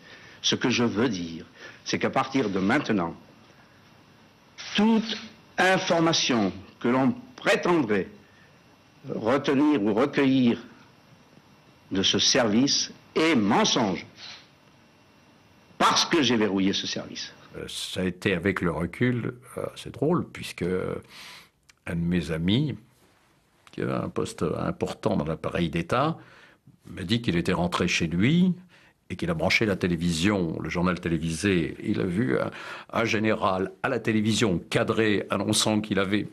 Il s'est dit ça y est, ça y est, c'est le putsch. L'affaire Greenpeace est une catastrophe pour la DGSE sa réputation internationale est anéantie. Les nageurs de combat quittent leur base d'Aspletto en Corse pour celle de Kellern en Bretagne. Ils le vivent comme une punition. Rien ne va plus entre le pouvoir politique et les services spéciaux. Le malentendu est plus profond que jamais depuis leur création, 40 ans plus tôt. Pour François Mitterrand, la confiance est définitivement rompue. Il assure à Jacques Attali ce qui m'attriste, ce n'est pas l'ordre donné, mais c'est la tragique incompétence dont a témoigné son exécution. Mais il est vrai qu'avec la bêtise, on ne peut jamais savoir où l'on va. La gestion de l'affaire Greenpeace par les socialistes pèsera lourd six mois plus tard, lors des élections législatives que remporte la droite, derrière Jacques Chirac.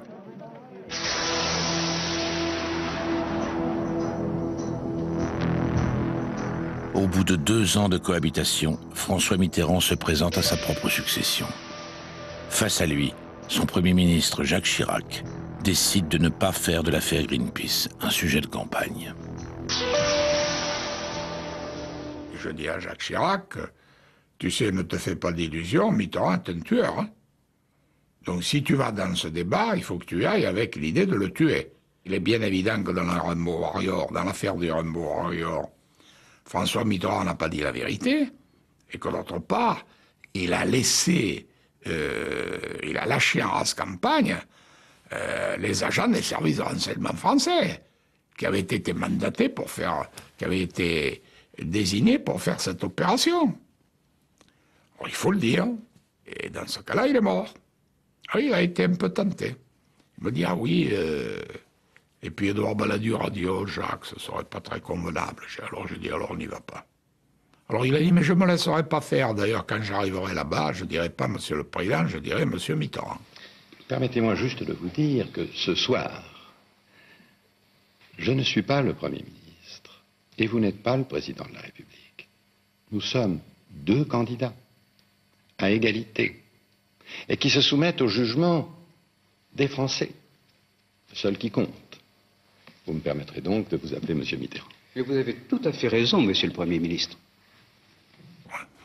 J'ai dit, les jeux sont faits.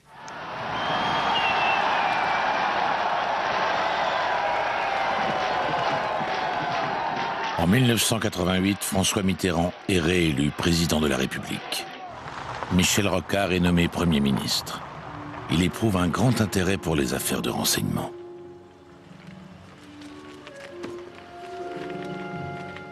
Je m'aperçois vite que tout ça est assez déplorable, que les services nous envoient de l'information brute, que qu'un Premier ministre en fonction qui a autre chose dans la tête et autre chose à faire a du mal à classer, à analyser, à placer dans un contexte, à pondérer, si j'ose dire. Et quand par hasard il y a des choses lourdes, on a des notes de plusieurs services qui diffèrent entre elles, et donc je commence à me désespérer de cette production. Et je voyais le président de la République deux fois par semaine. Comme nous apprécions peu notre compagnie mutuelle, on allait vite. Et voilà qu'un jour, nous sommes mercredi, il y a Conseil des ministres à 10h, je suis arrivé à 9h comme d'habitude, on a fini le travail à 9h30. À ce moment-là, je dis au président de la République, Monsieur le Président, euh, puisqu'on a un peu de temps libre, je vais prendre le risque de sortir de mes plates-bandes, de pénétrer directement dans les vôtres.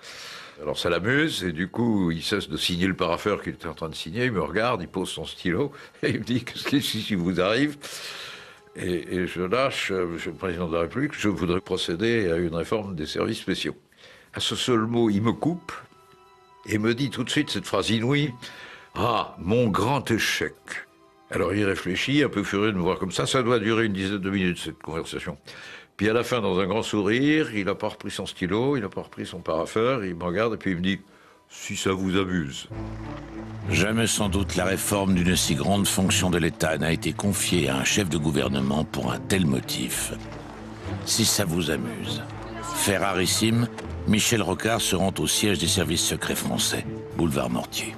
J'y étais allé pour les saluer, pour le, le pot d'apéritif et bon courage les gars, quoi.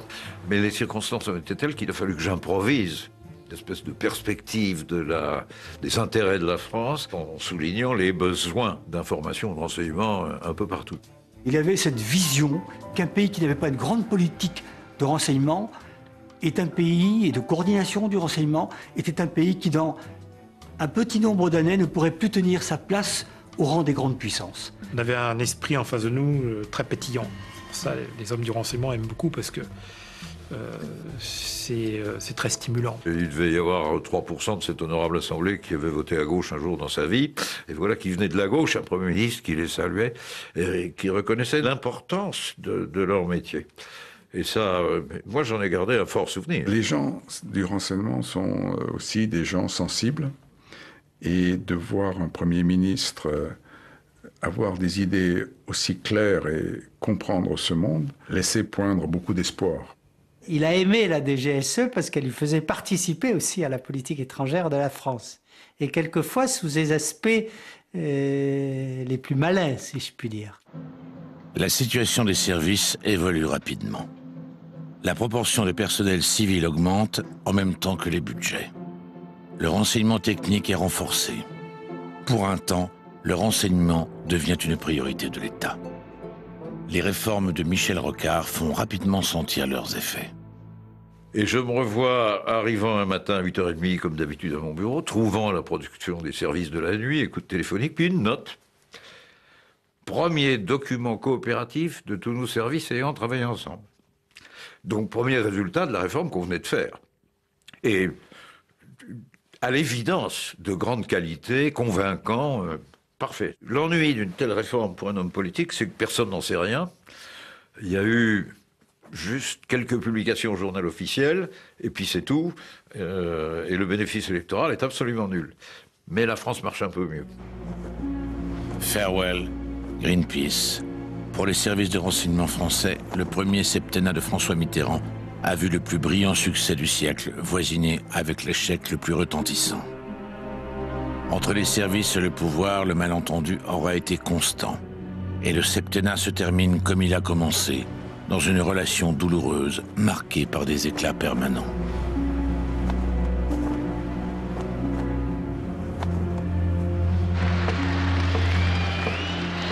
Quelques mois plus tard, un événement historique fait passer ces dissensions au second plan. Le 9 novembre 1989, le mur de Berlin s'effondre 28 ans après sa construction. Ce bouleversement est synonyme de la fin de la guerre froide. Les services secrets auraient-ils pu le prédire? Depuis 1945, ils luttaient contre le communisme. Sans adversaire, ils sont désemparés.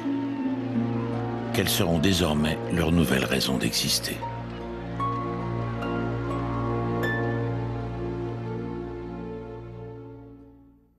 Dans combien de cas ce service a-t-il mis l'exécutif en difficulté?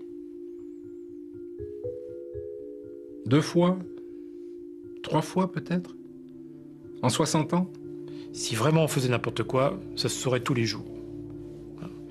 Et euh, jusqu'à présent, euh, hormis quelques cas qui ont défrayé un peu la chronique sur le plan médiatique, vous entendez parler de rien. Sachant que ce sont des services qui ont amené des opérations de la plus extrême délicatesse, de la plus extrême dangerosité, et où le risque est permanent. Mais on ne fait pas n'importe quoi dans cette maison.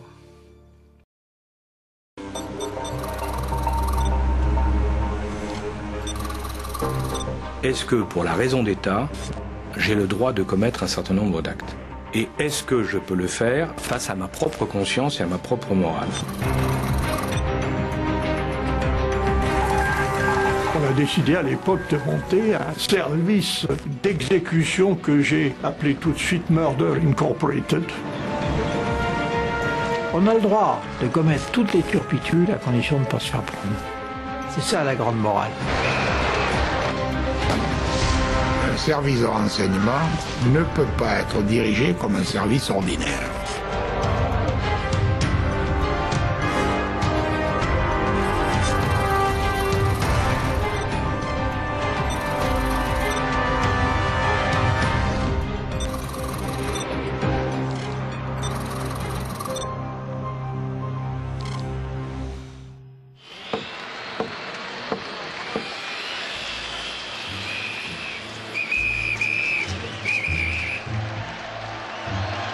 Le 9 novembre 1989, le mur de Berlin s'effondre, 28 ans après avoir été construit. Cet événement, l'un des tournants du XXe siècle, survient sans que les services occidentaux l'aient annoncé. C'est un choc.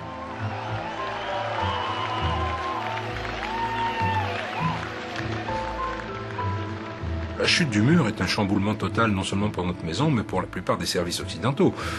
Vous avez dans tous les services de contre-espionnage une génération entière, voire deux, qui ont été formés uniquement à la guerre froide et euh, la confrontation avec les puissants, les très puissants services euh, de l'Est.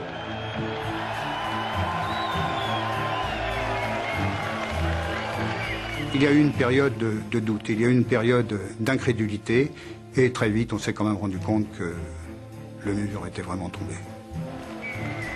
Un an après l'effondrement de l'Union soviétique, un événement incroyable se produit.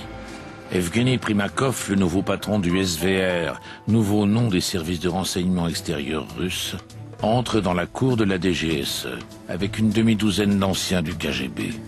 Un nouveau climat semble régner entre des services qui s'étaient affrontés pendant près d'un demi-siècle. Les hommes qui sont venus, ils étaient assez nombreux ce jour-là, étaient ceux-là même qui, s'étaient battus. Il n'y avait pas eu aucun changement à l'intérieur euh, de la maison, aucun changement.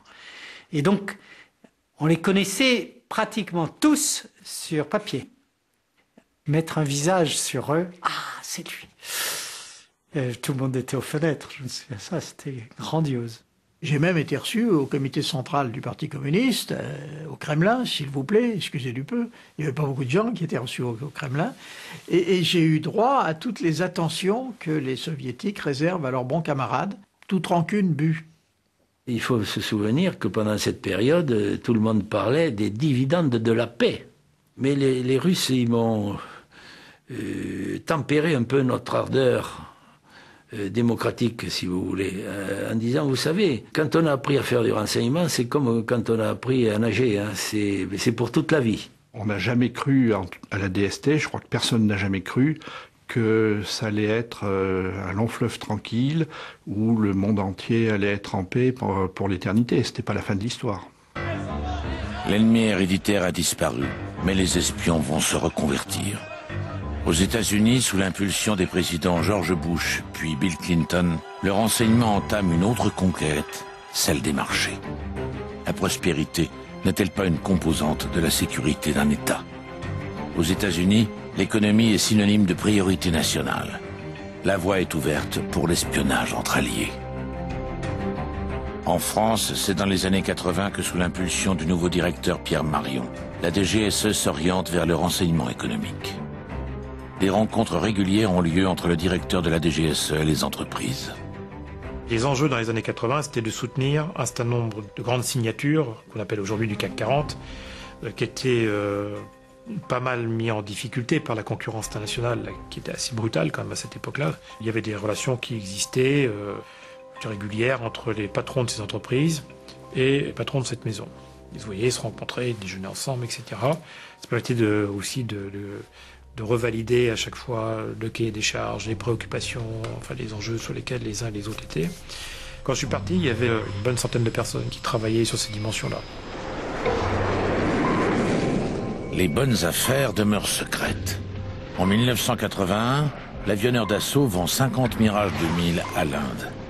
La DGSE a pu récupérer les offres des concurrents américains et russes et les transmettre à l'industriel qui a su adapter les siennes. Mais on ne gagne pas à tous les coups. Au début des années 80, la DGSE entreprend d'infiltrer 49 sociétés américaines de haute technologie, dont Texas Instruments, IBM, Hewlett Packard, Corning Glass.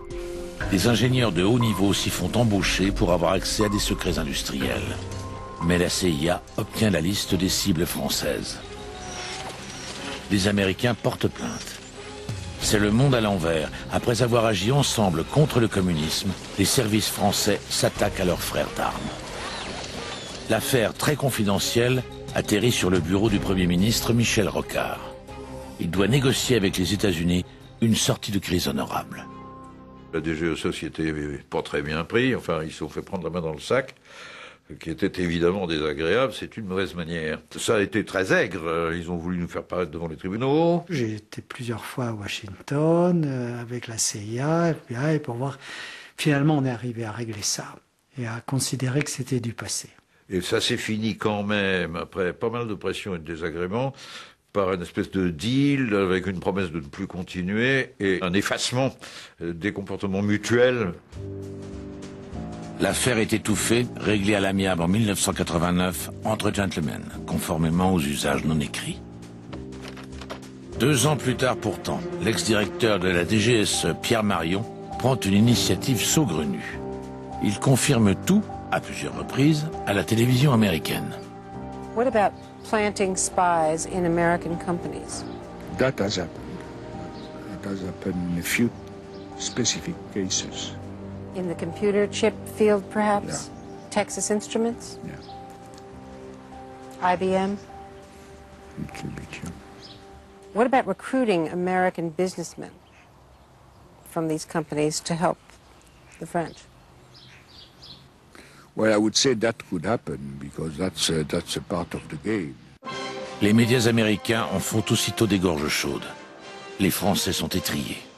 And there is a new kind of war to report tonight, an economic war being waged by France against the United States. For years, the U.S. has accused the French of industrial spying, aimed primarily at America's aerospace industry. The CIA claimed the French even bugged the first-class compartments on Air France flights to eavesdrop on American business executives. On avait bien conscience euh, de cela, on n'aimait pas ça, et on a donné des, des avertis- avertissements euh, euh, aux sociétés euh, euh, américaines. This video, produced by Hughes Aircraft to highlight the danger, reenacts what can happen. The scene, a Paris hotel room. The victim, an American businessman. The prize, a valuable jet fighter contract sought by France and the U.S. Bonsoir, est-ce qu'il y a quelqu'un It looks like a B movie, but it's common practice by French intelligence. Dans les hôtels, les, les moyens de transport, tout est bon pour, euh, pour recueillir de l'information euh, naturellement et, et sans, sans difficulté. Et vous savez, dans le monde de renseignement, les opérations faciles ont un certain attrait. Les gens n'imaginent pas tout ce qu'on peut récupérer. Sans avoir besoin de passer par de la contrainte ou du- de, de la brutalité. Non, non. Tout en finesse. Tout en finesse. Quelques années après s'être indignés des pratiques françaises, les Américains sont pris à Paris, la main dans le pot de confiture. La CIA veut connaître les intentions françaises dans les grandes négociations internationales. Dès 1992, la DST découvre qu'une Américaine, Mary Ann Baumgartner, est en contact avec un jeune conseiller d'État, Henri Plagnol. En fait, il a été tamponné, comme disent les espions.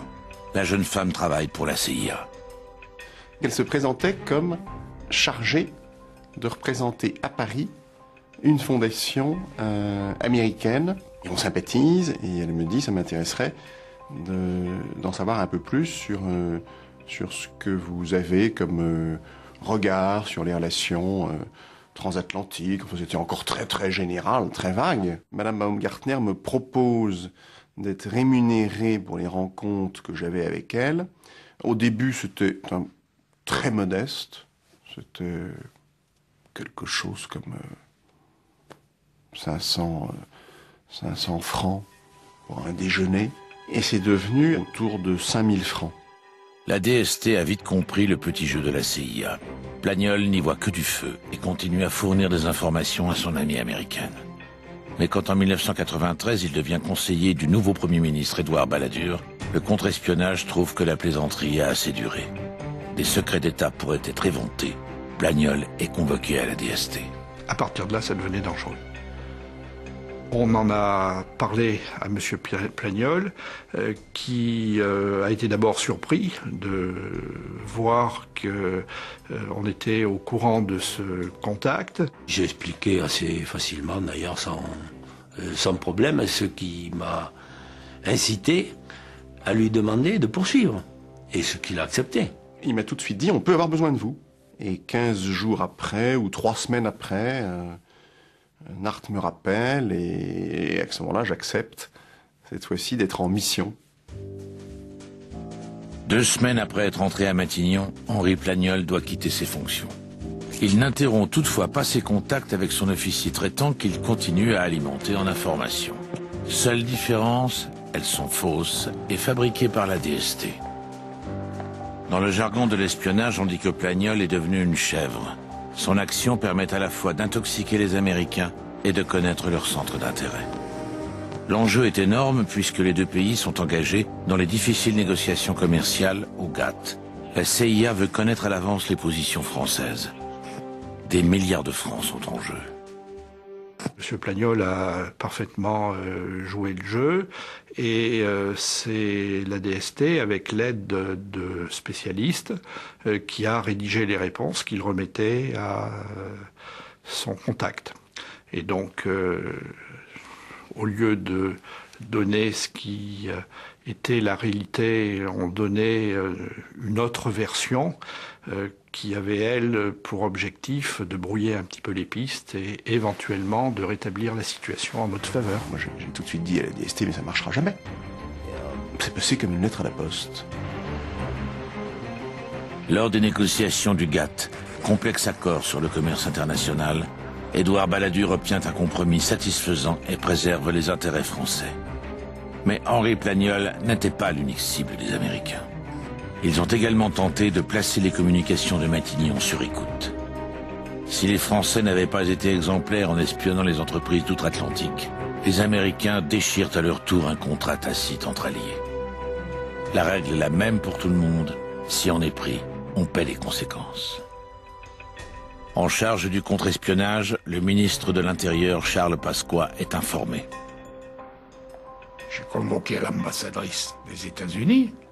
Elle me dit, mais c'est pas possible. J'ai dit, oui, c'est pourtant la réalité. Alors, j'ai dit, vous devriez euh, faire en sorte que les responsables euh, se, retournent aux États-Unis.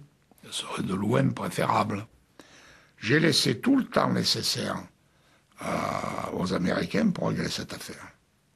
Ils ne l'ont pas fait. À partir du moment où ils ne l'ont pas fait, ben, chacun a pris ses responsabilités. Hein. Coup de froid entre Paris et Washington. La France demande aux États-Unis le rapatriement de cinq ressortissants américains soupçonnés d'espionnage au profit de la CIA.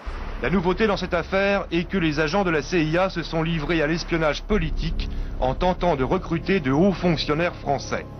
Autre fait inhabituel, le ministre de l'Intérieur convoquant l'ambassadeur d'un pays ami comme un ambassadeur soviétique au pire moment de la guerre froide pour lui demander de rapatrier ses agents alors qu'ils sont démasqués et donc devenus inoffensifs. Enfin, tout aussi troublante est la révélation de l'affaire dans un grand quotidien du soir. Ce genre de problème se règle d'ordinaire en famille. Et j'étais furieux. J'étais furieux. Je vois mon tout, ce qui permettait de l'identifier à la une du monde et j'appelle immédiatement Nart en lui disant enfin qu'est-ce qui se passe? C'était même insensé. Et à ce moment-là, lui-même est manifestement un peu malheureux de cette situation, un peu embarrassé. Et me dit écoutez, nous-mêmes, on ne comprend pas. Les espions ont des usages. Les politiques n'ont pas leurs scrupules. Une bonne affaire se médiatise pour peu qu'elle intervienne dans un contexte électoral. Pour Charles Pasqua, il s'agit de mettre en avant la vigueur de son candidat Édouard Balladur à l'élection présidentielle au mépris de l'opération de la DST. Une affaire d'espionnage est mêlée au jeu politicien. C'est un coup politique? Oui. La DST ne travaille pas pour elle-même, hein, par, euh, par, définition. Donc après, vous ne pouvez pas empêcher euh, le politique et les politiques euh, d'en faire l'usage qu'ils estiment devoir en faire. Les politiques, personnellement, je m'en suis toujours éloigné et méfié. Et dans mes comptes rendus, quand j'ai eu suffisamment euh, gravi la hiérarchie où j'étais en contact parfois avec euh, des ministres. Je tournais ma langue euh, plusieurs fois dans la bouche avant, de, parler parce que c'était je considéré comme des gens dangereux. Et il faut, il faut pas tout leur dire. Tout le monde est d'accord sur le principe. On n'espionne pas ses alliés. Pourtant, rien n'est plus fréquent dans le monde des services secrets où l'on doit savoir assumer des pratiques peu convenables, avec un seul mot d'ordre, pas vu, pas pris. Dans les années 90, les services de renseignement ne se sont pas seulement intéressés à l'économie. Pour les services français, il a fallu s'adapter dans l'urgence. Un événement considérable avait révélé de sérieuses carences dans l'appareil national de renseignement, mettant en cause des pans entiers de la stratégie française.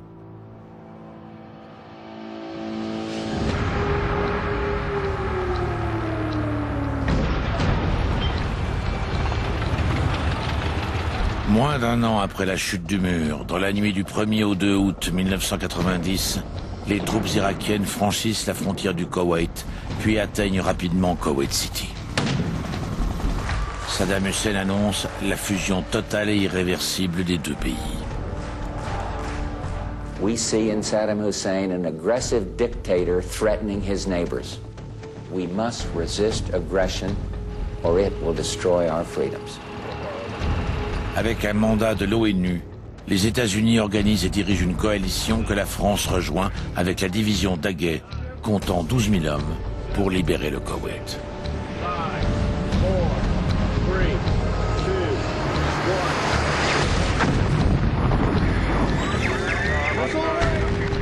Les troupes françaises sont placées sous commandement américain. Hélas, les Français ne sont pas du tout au point.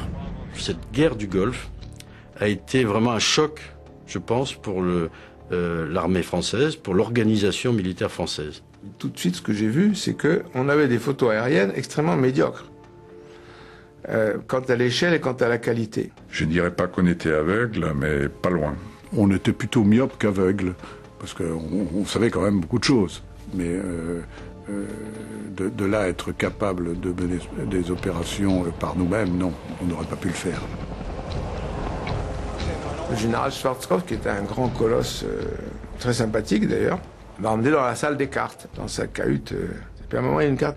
This one I can't show it. Celle-là, je peux pas vous la montrer. Alors je dis pardon, j'ai beg pardon. Non, non, alors j'ai tourné les talons, je dis je m'en vais. Il me dit qu'est-ce qui se passe, etc. Moi je parle bien anglais, il me dit qu'est-ce qui se passe? Je lui dis mais à partir du moment où il existe ici un seul renseignement que vous ne voulez pas montrer, je m'en vais et je rentre à Paris dans l'heure et j'explique pourquoi. Alors, il a tout de suite, il m'a montré les cartes, etc. Mais ces, ces militaires américains avaient vraiment l'idée qu'on n'était pas du tout des alliés, on était des fournisseurs de quelques milliers d'hommes. Et moi, j'étais un visiteur de marque, très bien, il fallait me recevoir poliment, m'offrir du Coca-Cola frais mais il pouvait me cacher des choses. Nous étions complètement dépendants euh, de ce que nous disaient les Américains pour intervenir quelque part. Le président François Mitterrand a également ressenti la faiblesse du renseignement français. Avant l'offensive aérienne, l'attaché de défense américain à Paris, l'amiral Philippe Dur, lui a présenté des dossiers d'objectifs afin qu'il approuve les cibles que la coalition souhaitait confier à l'armée de l'air française. Ces photos réalisées par les satellites américains sont d'une précision étonnante. À la fin de l'entretien, l'amiral refuse de laisser au président français ces images classées secrets. Ceci a conforté le président dans l'idée que les moyens de détection par satellite étaient euh, extrêmement euh, importants et que, euh, en réalité, l'indépendance, l'autonomie de décision de la France ne serait vraiment satisfaisante, complète, que lorsque nous détiendrions ces moyens.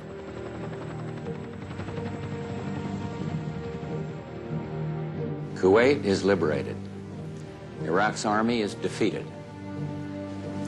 Kuwait is once more in the hands of Kuwaitis in control of their own destiny.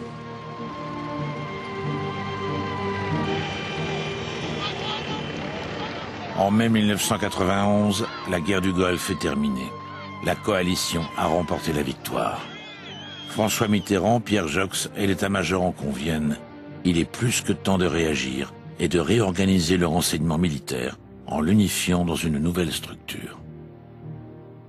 Donc j'ai rencontré M. Jox qui m'a dit qu'il avait l'intention de monter un dispositif euh, qui euh, digne de ce nom, de renseignement digne de ce nom, euh, pour que corriger complètement cette carence.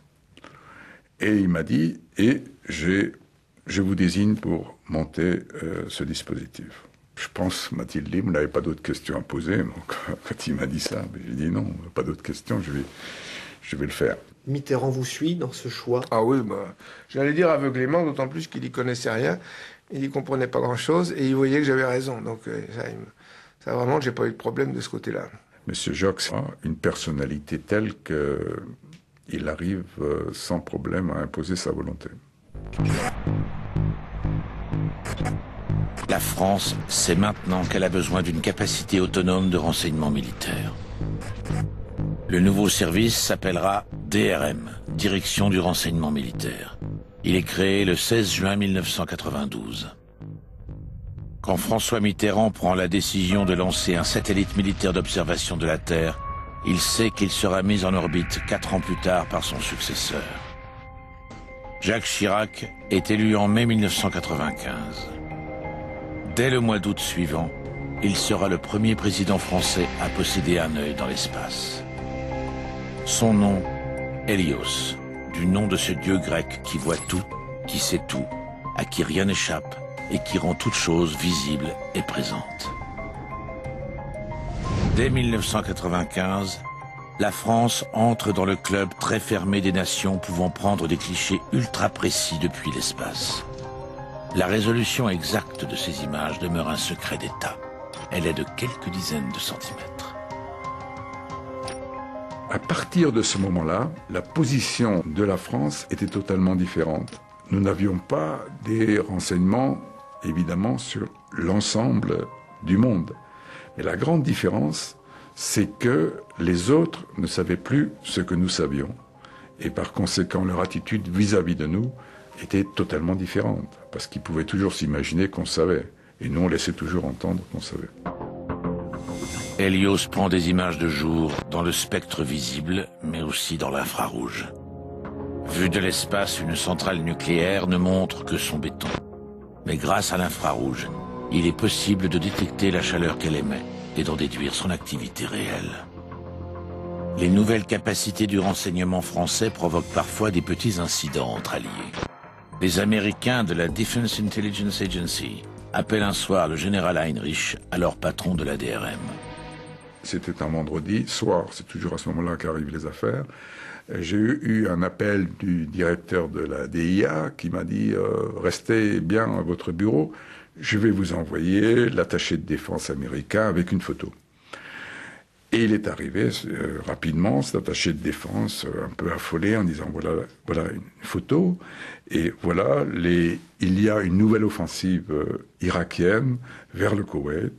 Regardez la photo. Sur la photo, vous savez que vous n'êtes pas expert, vous voyez des colonnes de chars, d'accord, ok. Donc j'ai appelé mes, mes experts. Bon, l'Américain est reparti et mes experts sont revenus cinq minutes après avec les mêmes photos.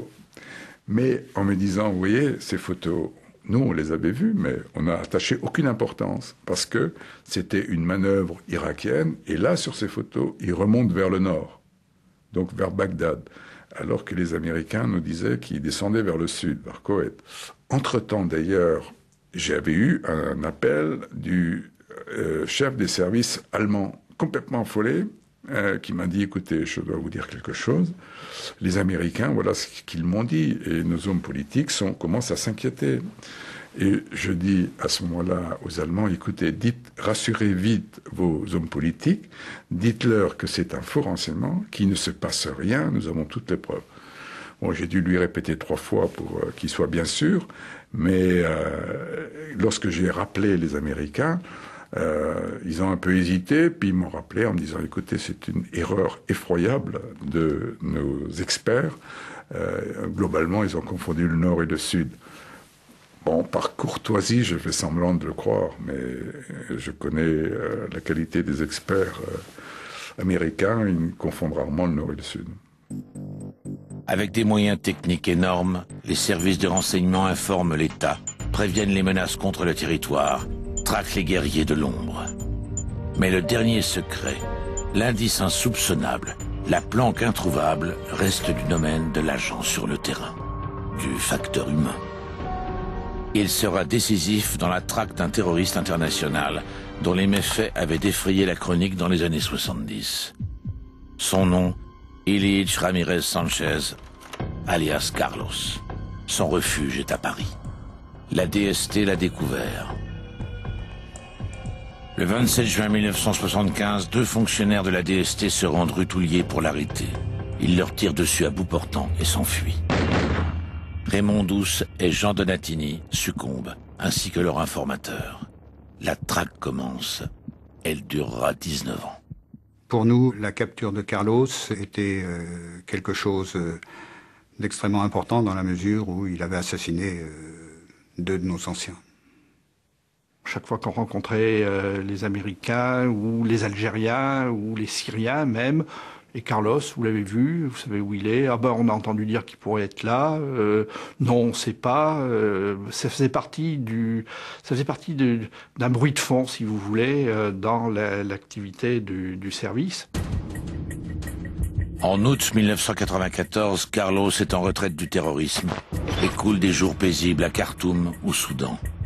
Mais les services américains l'ont repéré. Il donne sa position aux Français. Le général Philippe Rondeau, affecté à la DST, part sur place. Il rapporte à Paris la preuve de son existence et propose une opération osée. Il propose de le rapatrier euh, je ne sais pas si le terme est parfaitement exact. Certains diront le kidnapping, comme ils, comme ils le voudront. Rester à mettre en œuvre euh, une manière élégante de, de le sortir du pays. L'occasion s'est présentée euh, où, à la suite d'une hospitalisation, et après anesthésie, il s'est retrouvé immédiatement dans un avion. Pendant toute la durée du vol, les gens qui étaient avec lui n'ont jamais parlé. Tout le monde était cagoulé, et donc, il ne savait pas du tout entre les mains de qui il était. Dans ses oreilles, on lui faisait passer de la musique israélienne. Alors, euh, il croyait qu'il allait tomber chez les Israéliens. Ouf de soulagement quand il s'est retrouvé à Vélizy. Il a réalisé quand il a été dans la geôle de la DST. Et là, il a dit, chapeau. J'ai donc appelé le président. Je lui ai dit qu'on avait arrêté Carlos et qu'on l'avait ramené. Alors il y a eu un petit moment de silence à l'appareil. Puis il m'a dit, euh, est-ce que c'est le résultat d'une longue traque ou l'effet du hasard, etc. J'ai dit, vous savez, monsieur le président, c'est pas à vous que je dirais qu'il y a toujours un peu de deux dans ce genre d'opération. Après 20 ans de traque, de cache-cache avec les services de police, Carlos est à Paris. D'abord conduit dans les locaux de la DST. Quatre heures après, il est emmené en trombe à la prison de la santé ce soir, l'ennemi public numéro un dormira derrière les barreaux. La cavale du sanglant mercenaire est terminée. On a réglé nos comptes, on ne laisse rien derrière nous. Ben, on se téléphone en se disant bravo. C'est 10 ans ou 15 ans de cavale qui se termine et 10 ans ou 15 ans de recherche qui se terminent avec succès. Carlos en prison illustre la fin d'une époque, celle du terrorisme de la guerre froide. Un ultime effet de la chute du mur. Mais de nouvelles formes émergent dès 1994. Si la France est toujours la cible, les tireurs de ficelles sont ailleurs. En Algérie, le premier tour des élections législatives de 1991 annonce une victoire des islamistes du Front islamique du salut, le FIS. L'ancienne puissance coloniale ne veut pas d'une république islamique à sa porte. Elle accorde tacitement son soutien aux généraux algériens. Entre le premier et le second tour, il y a des contacts auxquels je participe modestement entre les généraux et, la France. Et je suis à l'Élysée deux ou trois fois euh, et Mitterrand donne son accord de manière euh, sibylline mais très claire. Euh, pas de manière formelle, mais très claire, donne son accord pour que le deuxième tour n'ait pas lieu. Les généraux algériens annulent le second tour et font leur coup d'État en janvier 1992. La France n'a pas tenté de les dissuader. Elle devient la cible d'attentats des islamistes, notamment signés par le groupe islamique armé, le GIA. Des attentats anti-français se produisent en Algérie en 1994. En décembre, le GIA détourne un Airbus vers Marseille. Puis des attentats à Paris se succèdent. La situation n'avait jamais été aussi grave depuis la vague terroriste des années 80. La DST adopte une stratégie délicate de coopération avec les généraux algériens, experts en manipulation et acteurs sanguinaires de la guerre civile. Ils sont suspectés d'avoir été mêlés à des actions anti-françaises, dont la mort tragique des moines de Tibérine. On nous a accusés d'être euh, les porte-flingues euh, des services algériens, d'avoir été manipulés par les services algériens. Je suis tout à fait opposé à cette théorie. Euh, je crois que nous avons exploité avec précaution l'ensemble des renseignements qui nous ont été communiqués. Et nous, ça nous intéressait, tout ce qu'ils pouvaient nous dire concernant la préparation d'actions violentes en France, ben, c'était pas, c'était pas anodin, il valait mieux qu'on le sache. Hein. Vous savez, on n'est pas dans une situation, c'est pas un travail d'enfant de cœur, hein, tout ça.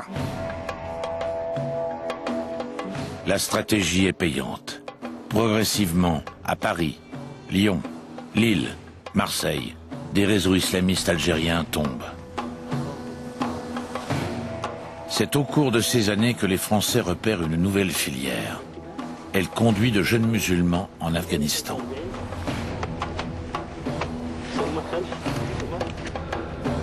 Nous prenons conscience qu'il y a un risque potentiel qui est en train de se mettre en place dans la zone afghane.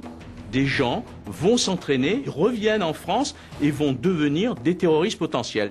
Et puis quand on a euh, estimé que euh, les réseaux terroristes euh, ben, passaient par Peshawar, c'est-à-dire au Pakistan, avant de se rendre en Afghanistan, ben, nous avons développé des contacts avec les services pakistanais.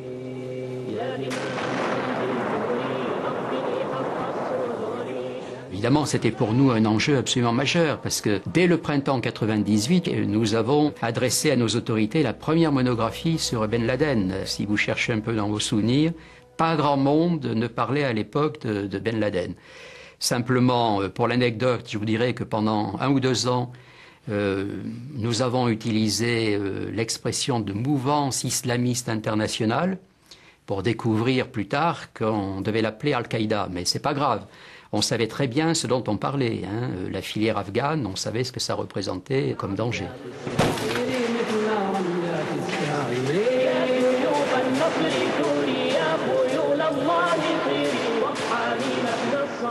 Nous avons quand même été exposés, je vous le dis maintenant, hein, à des dangers quand même assez sérieux et où nous avons dû donc démonter pas mal de risques d'attentats contre le pays. La coopération internationale porte ses fruits. Elle permet de déjouer un très gros attentat contre le marché de Noël à Strasbourg, qui aurait pu faire des centaines de victimes. En décembre 2000, la DST avertit les services allemands qu'une cellule islamiste de Francfort semble préparer une opération. Une concertation s'ouvre avec les Allemands, avec comme toujours le même dilemme, Hein, qui est classique dans ce genre de circonstances. Est-ce qu'on attend un peu pour en savoir un peu plus et mesurer le risque réel? Ou bien est-ce qu'on considère que le risque est tel qu'on doit intervenir tout de suite?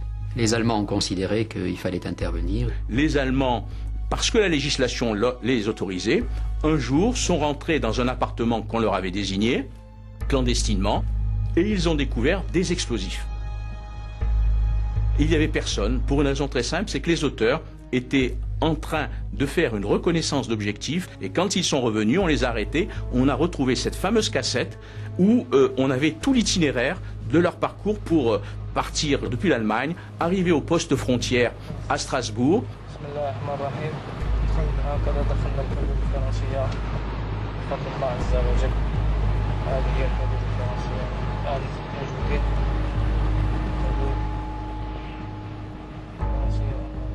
On trouve une vidéo avec un repérage de la cathédrale de Strasbourg, des propos très inquiétants.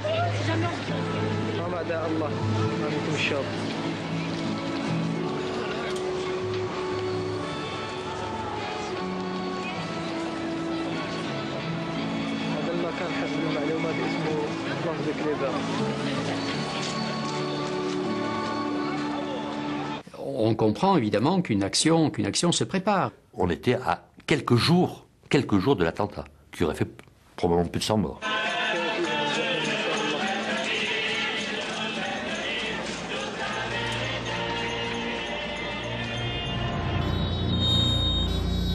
La police allemande arrête le groupe de Francfort. Ils seront jugés en France et condamnés en 2004. Les renseignements été le fruit d'une coopération quadrilatérale, enfin, c'est-à-dire qu'il y avait des renseignements euh, que nous échangions avec, euh, avec les, Algériens, des renseignements que nous échangions avec les Anglais, que nous échangions avec les Allemands, que nous échangions avec les Italiens, vous voyez Tout le monde détient un morceau du puzzle. si on veut avoir l'ensemble de la figure, il faut mettre les morceaux du puzzle sur la table. Il est évident qu'aujourd'hui, devant confronter une menace planétaire, éclatée, polymorphe, il faut, s'il n'y a pas de coopération internationale, ça ne marche pas. Aucun pays ne peut avoir la prétention, et là, de dire qu'il peut seul régler le problème. Quand l'expertise française est reconnue internationalement, la CIA ou le FBI sont en retard, alors qu'une affaire aurait dû les alerter. Aux États-Unis maintenant, l'arrestation à Seattle d'un Algérien avec en sa possession des explosifs. Sous très haute protection policière, Ahmed Ressam, un Algérien de 29 ans, arrive hier soir au tribunal de Seattle sur la côte ouest des États-Unis. C'est mercredi soir, à l'arrivée d'un ferryboat en provenance de Vancouver, que les douaniers sont intrigués par son comportement nerveux. Il est le dernier à débarquer du ferry et euh, le garde frontière va vouloir fouiller le coffre qu'on trouve dans, dans la roue de secours euh, de l'explosif qu'il avait fabriqué lui-même. L'objectif, d'après les enquêteurs, était l'une des tours de Seattle, où 250 000 personnes sont attendues pour le réveillon et où Ahmed Ressam avait réservé une chambre dans cet hôtel. Selon un expert, si Ahmed Ressam avait pu mettre son projet à exécution, les dégâts auraient été considérables. La CIA est complètement hors du coup. Et là, c'est la panique. La panique parce que tout d'un coup, on a, on a un individu qui dit rien, de l'explosif, une réalité. Les Américains ont débarqué euh, pendant une fin de semaine complète euh, au siège de notre service. Hein, euh, c'est tout juste si on n'a pas dû les coucher, les héberger au service, parce que ils découvraient ce qu'ils croyaient être le risque algérien. Et ils se disent, mais qu'est-ce qu'on a à voir, nous, Américains, avec le GIA algérien? On n'a aucune relation avec le GIA algérien. Alors qu'on leur a expliqué qu'Ahmed Ressam était algérien, ok, mais il y avait une autre dimension d'Ahmed Ressam. Il faisait partie justement de ce que nous commencions à appeler à l'époque la mouvance islamiste internationale. On leur dit non, messieurs, vous vous trompez. Ça, c'est lié à la mouvance de, de Ben Laden. Et pour eux, c'est aussi une surprise, parce que pour eux, j'allais dire, un homme de Ben Laden, ça devait être un homme originaire d'Afghanistan, originaire du Pakistan, mais pas un Algérien. Un Algérien, c'était pour nous, Français, un homme qui commettait des attentats pour le compte du GIA, pour le compte du GSPC. Il a fallu que la France, là, apporte un concours qu'elle a fait volontiers, moi en particulier, en donnant des milliers de documents, euh, et puis en acceptant d'aller témoigner devant des cours américaines, à la demande de, de l'attorney général des États-Unis, euh, pour convaincre un jury de ce que ne s'agit pas simplement d'un transport d'armes et de munitions, mais bien d'un complot Al-Qaïda contre les États-Unis. Bref, on, leur a fait découvrir à l'époque toute une dimension euh, qu'ils ignoraient.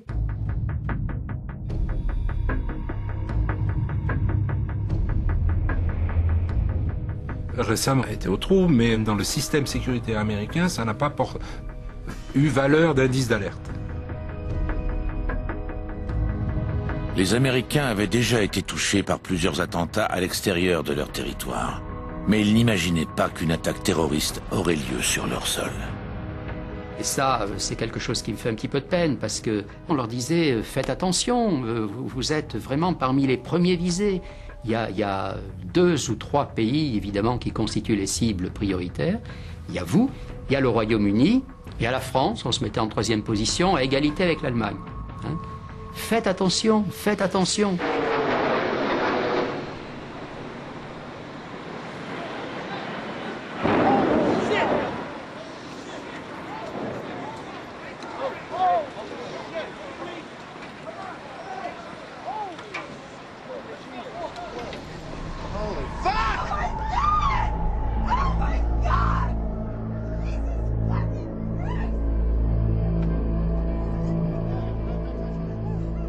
Pour les services français, le 11 septembre n'est pas un tournant. Euh, c'est un attentat de plus parmi tous ceux qu'on a eu à gérer depuis, depuis des années. Pour nous, il y a, si vous voulez, un changement de degré, pas de nature.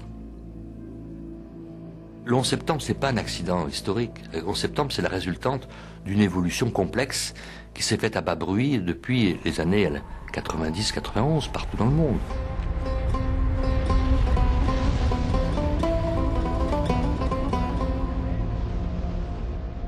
Même si les services de renseignement étaient sensibilisés, les politiques n'avaient pas forcément compris l'état des lieux. À l'été 2001, on m'a demandé de reconvertir la moitié de mes effectifs antiterroristes à l'immigration clandestine. ordre des plus hauts échelons de l'État. Comme à l'époque, on sentait quand même que ça chauffait beaucoup dans le domaine du terrorisme, j'ai fait ce que fait n'importe quel fonctionnaire d'autorité dans ces cas-là, c'est-à-dire euh, je vous entends pas, faible et brouillé, vous pouvez répéter la question, etc. J'ai traîné les galoches, et bien m'en a pris. Parce qu'évidemment, le 12 septembre, on m'a demandé de doubler mes effectifs antiterroristes, dont on avait d'ailleurs oublié qu'on m'avait demandé de les diviser par deux un mois avant. Donc il fallait que je double mes effectifs antiterroristes au 12 septembre, sachant bien que l'expert antiterroriste pousse comme les champignons au pied des, platanes du boulevard Mortier. Euh, ça, il suffit de se baisser pour les ramasser. Ces attentats ont eu pour effet d'améliorer les relations entre les services transatlantiques. Pour les Américains, les Français redeviennent des partenaires dignes de confiance. Ils apprécient que Jacques Chirac soit le premier chef d'État étranger à se rendre à New York. Mais les attentats se poursuivent, provoqués par la même mouvance islamiste radicale. Le terrorisme devient la principale priorité des services du monde entier. En mai 2002, après sept ans à l'Élysée, Jacques Chirac est réélu. Le premier des Français fut secrétaire d'État sous Charles de Gaulle, ministre de l'Intérieur de Georges Pompidou, premier ministre de Valéry Giscard d'Estaing, maire de Paris. Aucun rouage de l'État n'a de secret pour lui, pas même les services de renseignement. Mais à leur égard, il n'éprouve qu'un sentiment, la méfiance. On prête à M. Chirac la phrase suivante Les services spéciaux ne font pas partie de ma politique. Et j'ai jamais entendu dire qu'il se soit intéressé de près à la question ni au service. En politique, Jacques Chirac a tout d'un prédateur.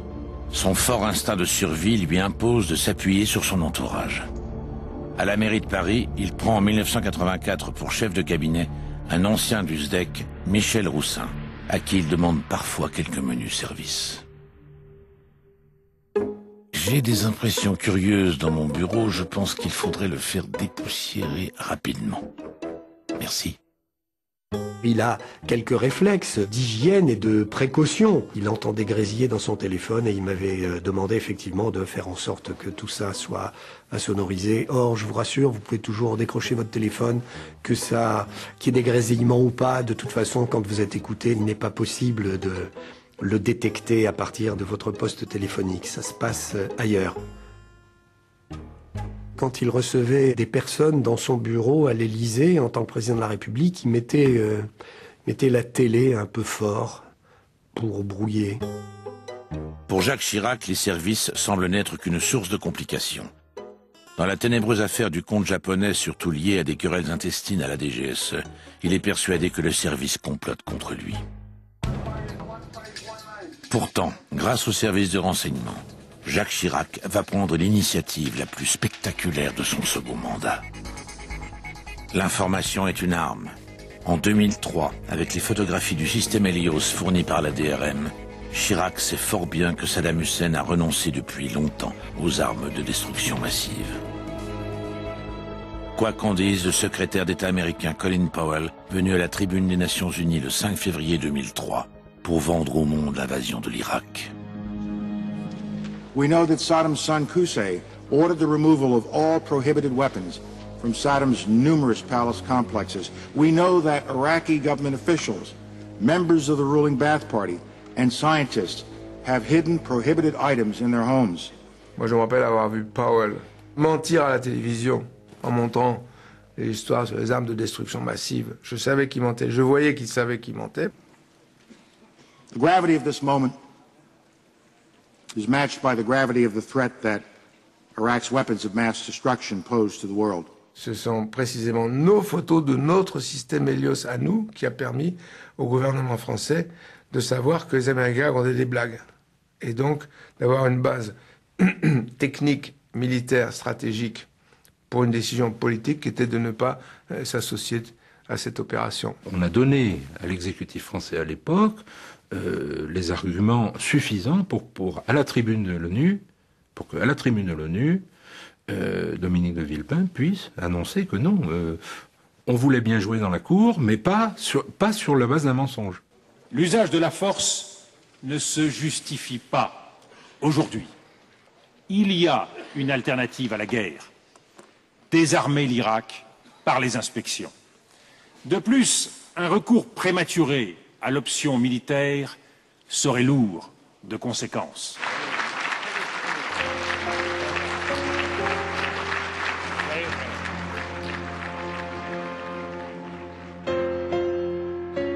Le refus de Jacques Chirac de participer à la guerre d'Irak est le coup d'éclat de son second mandat. Pourtant, il tient les services à bout de gaffe et n'a jamais eu, pas plus que François Mitterrand, la moindre intention de réformer le système. Je leur ai dit à tous les deux que le système français tel qu'il était organisé euh, ne m'apparaissait euh, pas convenable. Donc, à chacun, j'ai proposé euh, une étude pour améliorer le fonctionnement des services. Tous les deux m'ont donné l'autorisation de faire ces études. J'ai consulté les, plus grands experts, je suis allé aux États-Unis, je suis allé en Grande-Bretagne, je suis allé partout pour voir comment ça fonctionnait. Bon.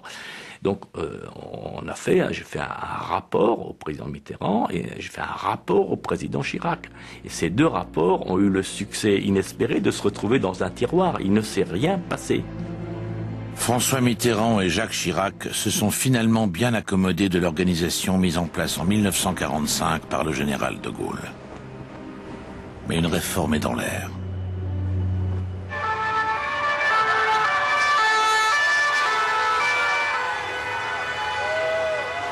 Quand l'ancien ministre de l'Intérieur Nicolas Sarkozy entre à l'Élysée en juin 2007, il a son point de vue sur la manière dont l'État doit s'informer. L'anticipation et le renseignement sont élevés au rang de priorité stratégique par le nouveau livre blanc de la défense et de la sécurité.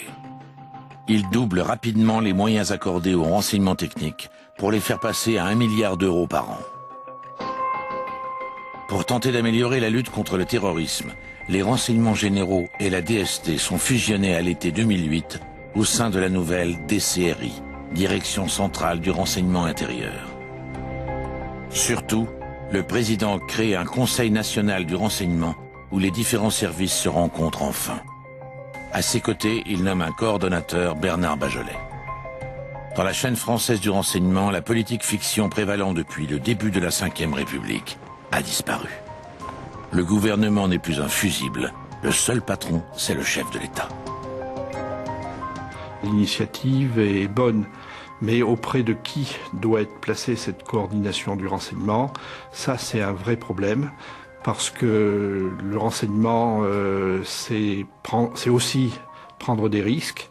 Et est-ce qu'il faut qu'un homme politique placé comme est placé le président de la République soit éventuellement euh, éclaboussé par une affaire liée au service de renseignement? Le pouvoir politique, jusqu'à Nicolas Sarkozy, a tenu euh, le renseignement à, distance.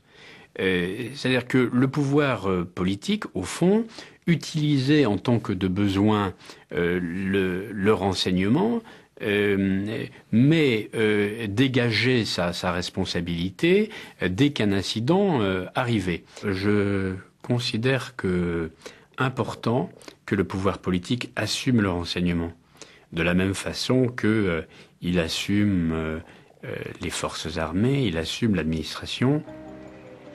Le renseignement n'est pas quelque chose de sale, de honteux.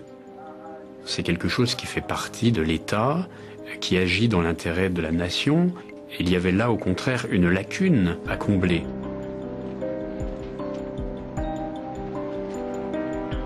Forgés par le général de Gaulle pendant la Seconde Guerre mondiale, les services de renseignement modernes sont des instruments de puissance et d'influence, dont l'organisation est demeurée inchangée jusqu'à la réforme de 2008. Dès leur création, les pouvoirs s'en sont méfiés, parfois à tort, souvent à raison. La relation n'a jamais été simple. Qu'en sera-t-il dans l'avenir?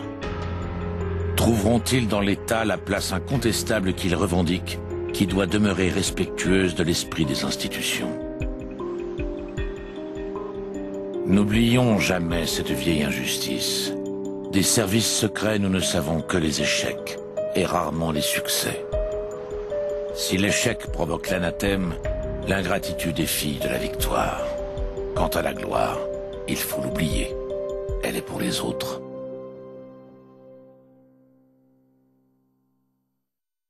Là, je peux pas vous répondre.